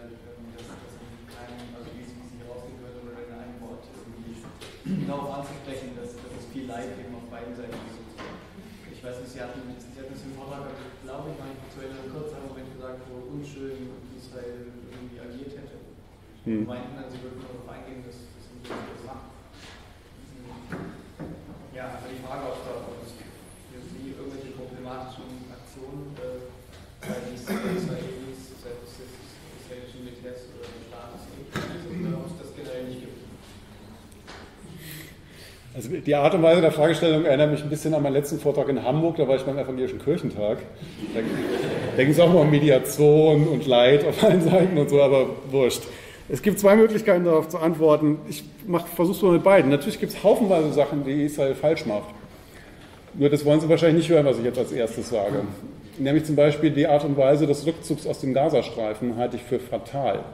Das war eine der schlimmsten Entscheidungen, die die israelische Regierung in den letzten Jahren getroffen hat. Übrigens wieder äh, dem vorausgegangen ein massiver Druck aus den USA, nämlich Condoleezza Rice, ja, also die Außenministerin vor George Bush. Die hat die Israelis dazu gezwungen, mehr oder weniger die Hamas zu Wahlen zuzulassen. Ein katastrophaler Fehler. Ja. Die Art und Weise des Rückzugs der Israelis dann aus dem Gazastreifen halte ich für einen katastrophalen Fehler. Ja. Die Art und Weise, wie Israel mit Islamisten im eigenen Land, also nicht im Gazastreifen und im Westjordanland, sondern im israelischen Kernland umgeht, ja, halte ich für viel zu zurückhaltend. Ich glaube, dass in diesen Punkten die israelische Gesellschaft sich eine Art von Liberalität leistet, die zwar bewundernswert ist, aber die in vielen Punkten falsch ist. Es gibt sowas wie das Islamic Movement in Israel. Ja? Die treten zu den Knesset-Wahlen an. Die haben Abgeordnete im israelischen Parlament. Ja? Das, also, wenn es nach mir ginge, würde so eine äh, Partei ähm, nicht zu den Wahlen zugelassen werden, allein schon äh, aufgrund der Sachen, die sie irgendwie über Frauen und äh, Homosexuelle sagen, aber insbesondere auch, was sie über den jüdischen Staat sagen. Äh, wie gesagt, ich vermute, das ist nicht das, was Sie hören wollen, aber das ist so, das, das reizt natürlich so ein bisschen, weil natürlich bekommt man, wenn man so Dinge versucht so auszuführen, wie ich das mache, ständig die Frage, ja, hast du denn überhaupt nichts an der israelischen Politik auszusetzen? Doch, haufenweise, ja. Ähm, aber sie meinen, wollen natürlich auf was anderes hinaus. Sie wollen natürlich darauf hinaus, Die Aussage, Auf das Leid, ja. dass äh, den, den Antisemitismus, wie er da eben in der arabischen Welt und sowas entstanden ist, genau dasselbe wäre wie in Europa. Und das habe ich nicht ganz verstanden, weil ich doch dachte, dass, dass die arabische Welt vielleicht auch eine eine Art von Bedrohung oder sowas oder mehr im direkten Kampf irgendwie steht, als, als äh, in Europa jemals bestand. Hm. Das wäre nochmal eine andere Frage, glaube ich. Ich versuche mal bei der ersten noch zu bleiben. Äh, für all das, was ich hier gesagt habe, auch auf dieser gr- grundsätzlichen Ebene, warum ich sowas wie eine, eine Solidarität mit Israel, was die israelischen Verteidigungsstreitkräfte notwendigerweise mit einschließt, warum ich das so vehement betone, einfordere und versuche dafür zu argumentieren, sowohl von einer allgemein materialistischen Kritik aus, als auch vollkommen jenseits von der. Ja.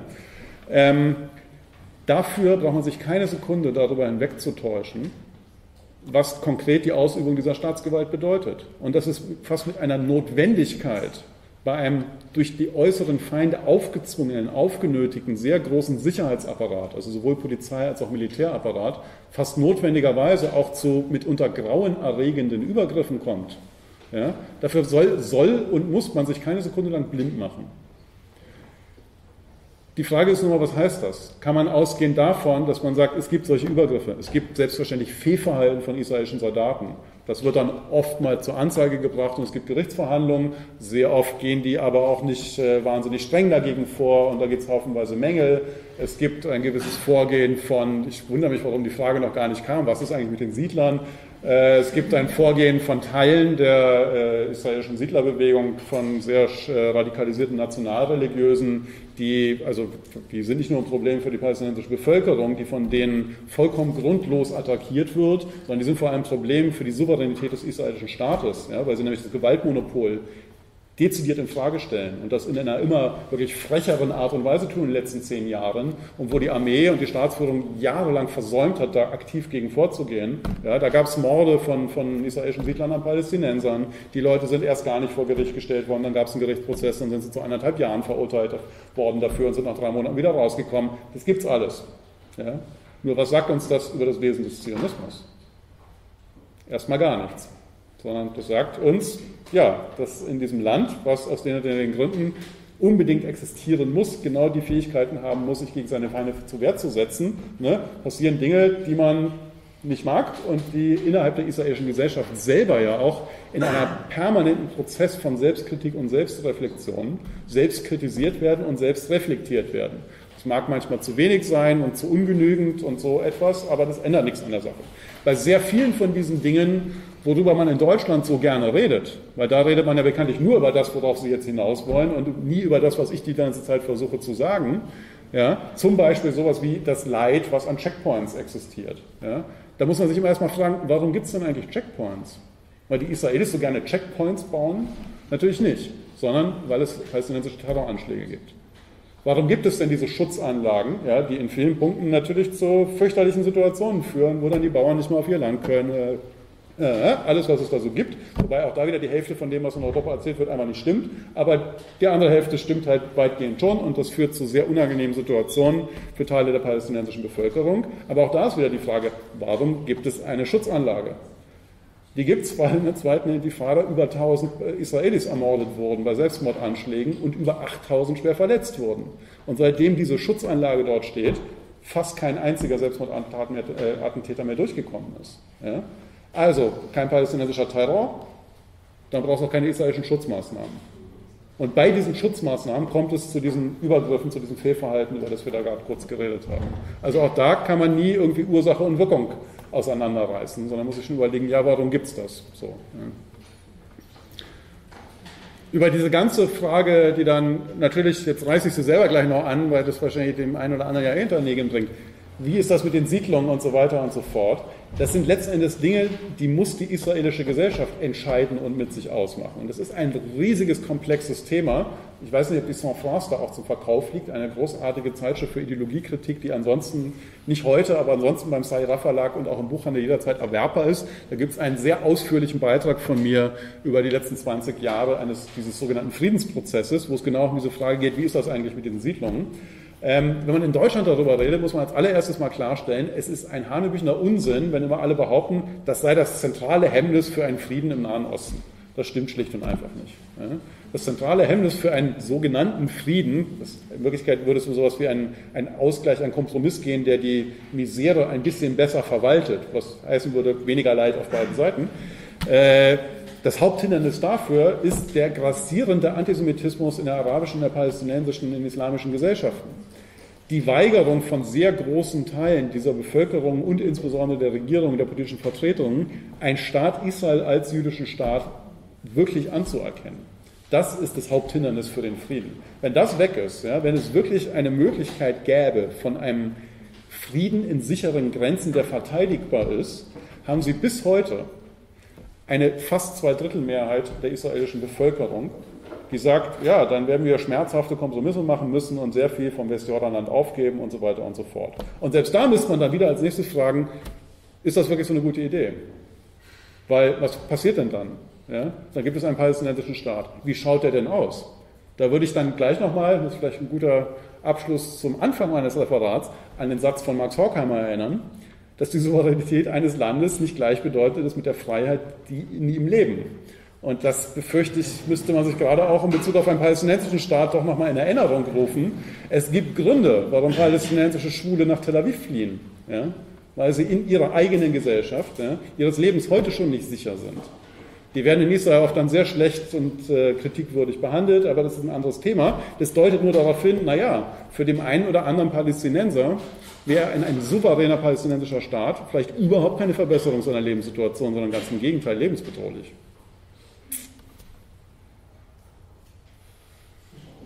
Wir hätten vielleicht für eine letzte Frage noch Zeit.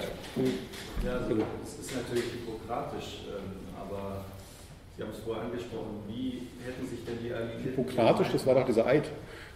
Also, ja. wie hätten sie sich verhalten sollen 1945 gegenüber dem besiegten Deutschen Reich, damit ist eben nicht dieses von Ihnen angesprochene abschreckende, äh, nicht abschreckende Beispiel jetzt gab. Das ist, das ist äh, hypothetisch, meinen Sie wahrscheinlich. Das ist, die, das ist eine müßige Diskussion und es geht überhaupt nicht äh, darum, dass ich da jetzt meine Rachefantasien ausbreite, die ich aber ansonsten übrigens für sehr legitim halte. Ähm, es geht mir darum zu konstatieren, was passiert ist. Ja? Die Geschichte ist so gelaufen. Es ist nichts passiert. Es hat, glaube ich, keinen Sinn, dass man jetzt da über. Es gab alternative Modelle. Ne? Es gab Leute bekanntlich, die gesagt haben, also das war jetzt zum zweiten Mal, dass die Deutschen irgendwie einen Weltkrieg vom Zaun brechen und dieser zweite war, entschuldigen Sie, wenn ich das so salopp sage, ein Zacken ärger noch als der erste. Ja? Die, meine, die Deutschen haben bekanntlich nicht nur irgendwie sechs Millionen Juden ermordet, sondern Darüber redet man mittlerweile ja ganz viel in Deutschland, sogar, sogar wahnsinnig viel. Man hält sich für so eine Art Aufarbeitungsweltmeister mittlerweile. Ne? Also man hat nicht nur das größte Menschheitsverbrechen begangen, jetzt ist man auch noch irgendwie ganz wahnsinnig gut dabei, das aufzuarbeiten und kann das jetzt auch noch exportieren und jetzt den Tschechen und Israelis erklären, wie die sich gefälligst mit ihrer Vergangenheitspolitik beschäftigen sollten. Das kann ich jetzt nicht weiter ausführen. Das kann man, was ich dazu gerne noch sagen würde, kann man in diesem sehr günstig zu erwerbenden Sammelband Postnarzissmus Revisited nachlesen. Ähm, worüber sehr wenig zum Beispiel geredet wird, ist, dass der Feldzug im Osten, ja, an dem sich die beliebtesten Politiker Deutschlands beteiligt haben, nämlich Richard von Weizsäcker und Helmut Schmidt, und zwar nicht als kleine irgendwie drangsalierte Wehrmachtssoldaten, sondern als Offiziere der Wehrmacht. Ja. Die waren an der Ausnummerung Leningrads beteiligt, die beiden. Ne. Da sind über 1,1 Millionen Menschen zum Opfer gefallen. Und insgesamt hat die deutsche Volksgemeinschaft in diesem Vernichtungskrieg über 20 Millionen Sowjetbürger dahin gemetzelt. So. Danach kann man schon mal auf die Idee kommen, ob das echt noch so eine gute Idee ist, wenn der Staat Deutschland weiter existieren soll. Ja? Also das ist eine so naheliegende Vorstellung, dass man das zumindest mal in Frage stellen sollte und sich mal überlegen sollte, okay, hm, ja. Und es gab solche Pläne, es gab die Überlegung, dass das auf alle Zeiten entmilitarisiert sein muss. Ja? War aufgrund der Konstellation des Kalten Krieges auch wieder schnell vom Tisch. Es gab Überlegungen, dass es wenigstens deindustrialisiert sein soll, ne? aus der Erfahrung heraus, dass dieser unglaubliche Vernichtungskrieg im Osten einfach auch nur durch ein wahnsinniges Industriepotenzial überhaupt geführt werden konnte. Man ja sagen können, ja, dann ist damit mal wenigstens Schluss. Ähm, es gab ja auch viel mehr Pläne für die Aburteilung von NS-Kriegsverbrechern, ja, die weit über das hinausgegangen sind, was dann leider nur passiert ist, die sehr schnell als ACTA gelegt wurden und größtenteils einfach aus der Konstellation des Kalten Krieges heraus, weil man fatalerweise, würde ich sagen, dann irgendwie gemerkt hat, okay, der neue Hauptfeind ist die Sowjetunion, da kennen die Deutschen sich ganz schön gut aus, wie man die bekämpft und man deswegen schon mal allein den halben Geheimdienst und die ganzen Raketentechniker und so weiter und so fort halt für die eigenen Zwecke haben wollte und deswegen sehr schnell aufgehört hat mit dieser halbwegs konsequenten Verfolgung von den Straftaten oder auch überhaupt nur der Aufklärung von diesen Straf, äh, Straftaten, das ist ein absurdes Wort, also von diesen Massenmorden. Ja. Und all das ist eine Katastrophe für die heutige Situation, dass das so gewesen ist. Ja. Gibt es so ein ja, also wir können jetzt noch weiterfragen. Ja. Wenn man den Staat beseitigt, äh, löst das wirklich die Probleme? Macht es die Leute nicht noch feindseliger? Oder? Nein, erstmal muss, es sie, erstmal, muss man sie, erstmal muss man sie daran hindern, dass, oder hätte man sie daran hindern müssen, dass sie jemals wieder so etwas tun. Man muss ihnen die Mittel nehmen. Und dann geht es natürlich letzten Endes, es gibt, gibt Adorno diese sehr guten Stellen, wo er sagt, es geht um die Wendung auf die Leute selber. Man muss ihnen im Prinzip letzten Endes würde es darum gehen, dass es sowas wie eine hätte es sowas wie eine kollektive und individuelle Selbstreflexion geben müssen. Ne? Man hätte, diese Leute hätten unglaublich erschrecken müssen selber vor dem, was sie da angerichtet haben und getan haben. Und auch das gab es halt nur in Ansätzen. Dazu hätte man sie mehr oder weniger zwingen müssen. Ja, diese sogenannte Re-Education, die es gab. Ein anderes Sammelband von mir dort, 10 statt 14 Euro, äh, heißt im Untertitel, nein, heißt im Titel Feindaufklärung und Re-Education diese in Ansätzen äh, Versuche, die es gegeben hat, dass man sagt, man muss den Leuten, also wenn man mit denen jetzt doch eine neue Staat, ein neues Deutschland aufbauen möchte, ja, gerade die Amerikaner und die Briten haben sowas versucht, da muss man denen wenigstens mal sowas wie demokratisches im Sinne von liberal westlich orientierten demokratisch rechtsstaatlichen Bewusstsein beibringen. Ja. Bildungsprogramme aufgelegt, hat versucht, auf die Lehrpläne Einfluss zu nehmen, die, die wenigen jüdischen Intellektuellen, die zurückgekommen sind nach Deutschland, wie Adorno und Horkheimer, aber eine Reihe von anderen auch, die ganzen Politikwissenschaftler, die in, in, am Otto-Suhr-Institut damals gesessen sind, haben sich genau darüber Gedanken gemacht. Die wussten ganz genau, in was für eine Gesellschaft sie zurückkommen. Eine Gesellschaft, die bis zum 8. Mai dem Führer die Stange gehalten hat. Eine Gesellschaft, die, nachdem sie den Krieg eigentlich schon längst verloren hatten, mit dem Massenmord an den Juden erst so richtig losgelegt hat, so richtig angefangen haben. Das wusste man. Eine Gesellschaft, die massenhaft beteiligt war an diesen Verbrechen ja, und wo alle mehr oder weniger wussten, was da für Verbrechen begangen wurden. Ähm, in die Gesellschaft kommt man zurück und natürlich wusste man, dass sie sich nicht von heute auf morgen ändern. Und man hat also versucht, sich irgendwie zu überlegen, wie kann man das hinbekommen. Das ist dann später äh, Leuten wie Horkheimer ja auch von diesen linksradikal kann man nicht sagen, diesen linksradikalen Studenten der 68er-Bewegung ja scharf angekreidet worden. Der hat sich zum Beispiel, der saß dann zeitweise in Planungskommissionen für die deutsche Bundeswehr. Ja, und sagt, ah, mit dem Militär darf man nie zusammenarbeiten und so. Das war aus der Überlegung heraus, dass man sagt, okay, es gibt diese deutsche Bundeswehr jetzt. Ja, Hätte man vielleicht auch gleich überbleiben lassen sollen, also nie wieder deutsche Soldaten und so. Jetzt war die Situation so, die Amerikaner haben aus naheliegenden Gründen das dann doch gewollt. Dann muss man wenigstens dafür sorgen, dass nicht das passiert, was natürlich trotzdem passiert ist, weil Horkheimer da total unmächtig war, ähm, dass die ganzen alten Nazis das Offizierskorps stellen, sondern man braucht neue Offiziere, die mit einem ernsthaft demokratisch westlich orientierten Bewusstsein an sowas herangehen. Ne? Und darum hat er sich hingesetzt und gesagt, hier, ich arbeite euch jetzt mal so eine Art...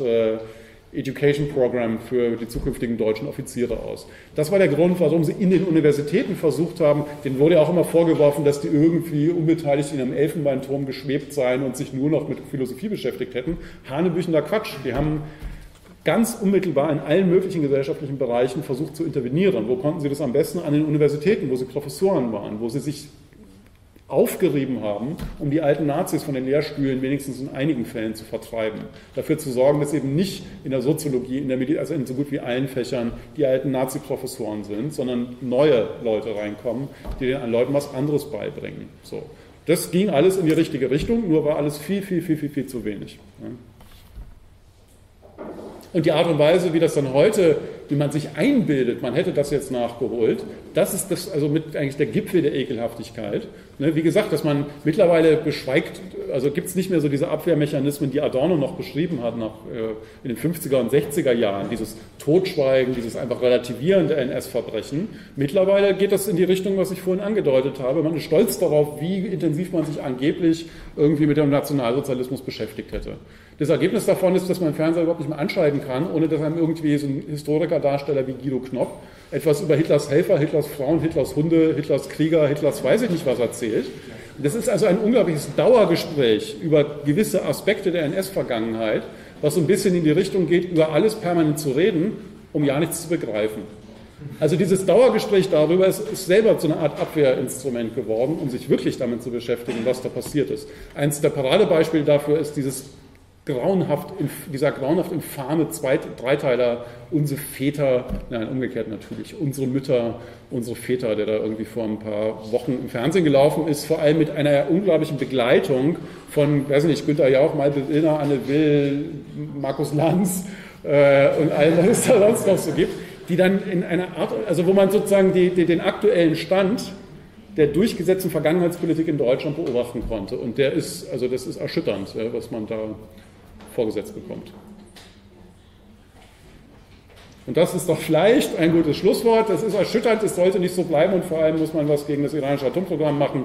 Äh, informieren Sie sich über unsere Kampagne Stop the Bomb. Wir freuen uns über jegliche Form von Unterstützung und ich garantiere Ihnen, es gibt, Sie wissen, dass es ja auch Städtepartnerschaften gerade in dieser Stadt mit Städten äh, gibt, die unter der Herrschaft des iranischen Regimes stehen, aber es gibt ganz sicher auch ein paar Industrieunternehmen in Freiburg, die Geschäfte mit dem Iran machen und sowas sollte man wenigstens mal in die Öffentlichkeit zerren, damit man diesen winzigen kleinen Beitrag gegen diese grauenhafte Kooperation mit diesen Islamfaschisten leistet, den man halt leisten kann. Vielen Dank für die Aufmerksamkeit.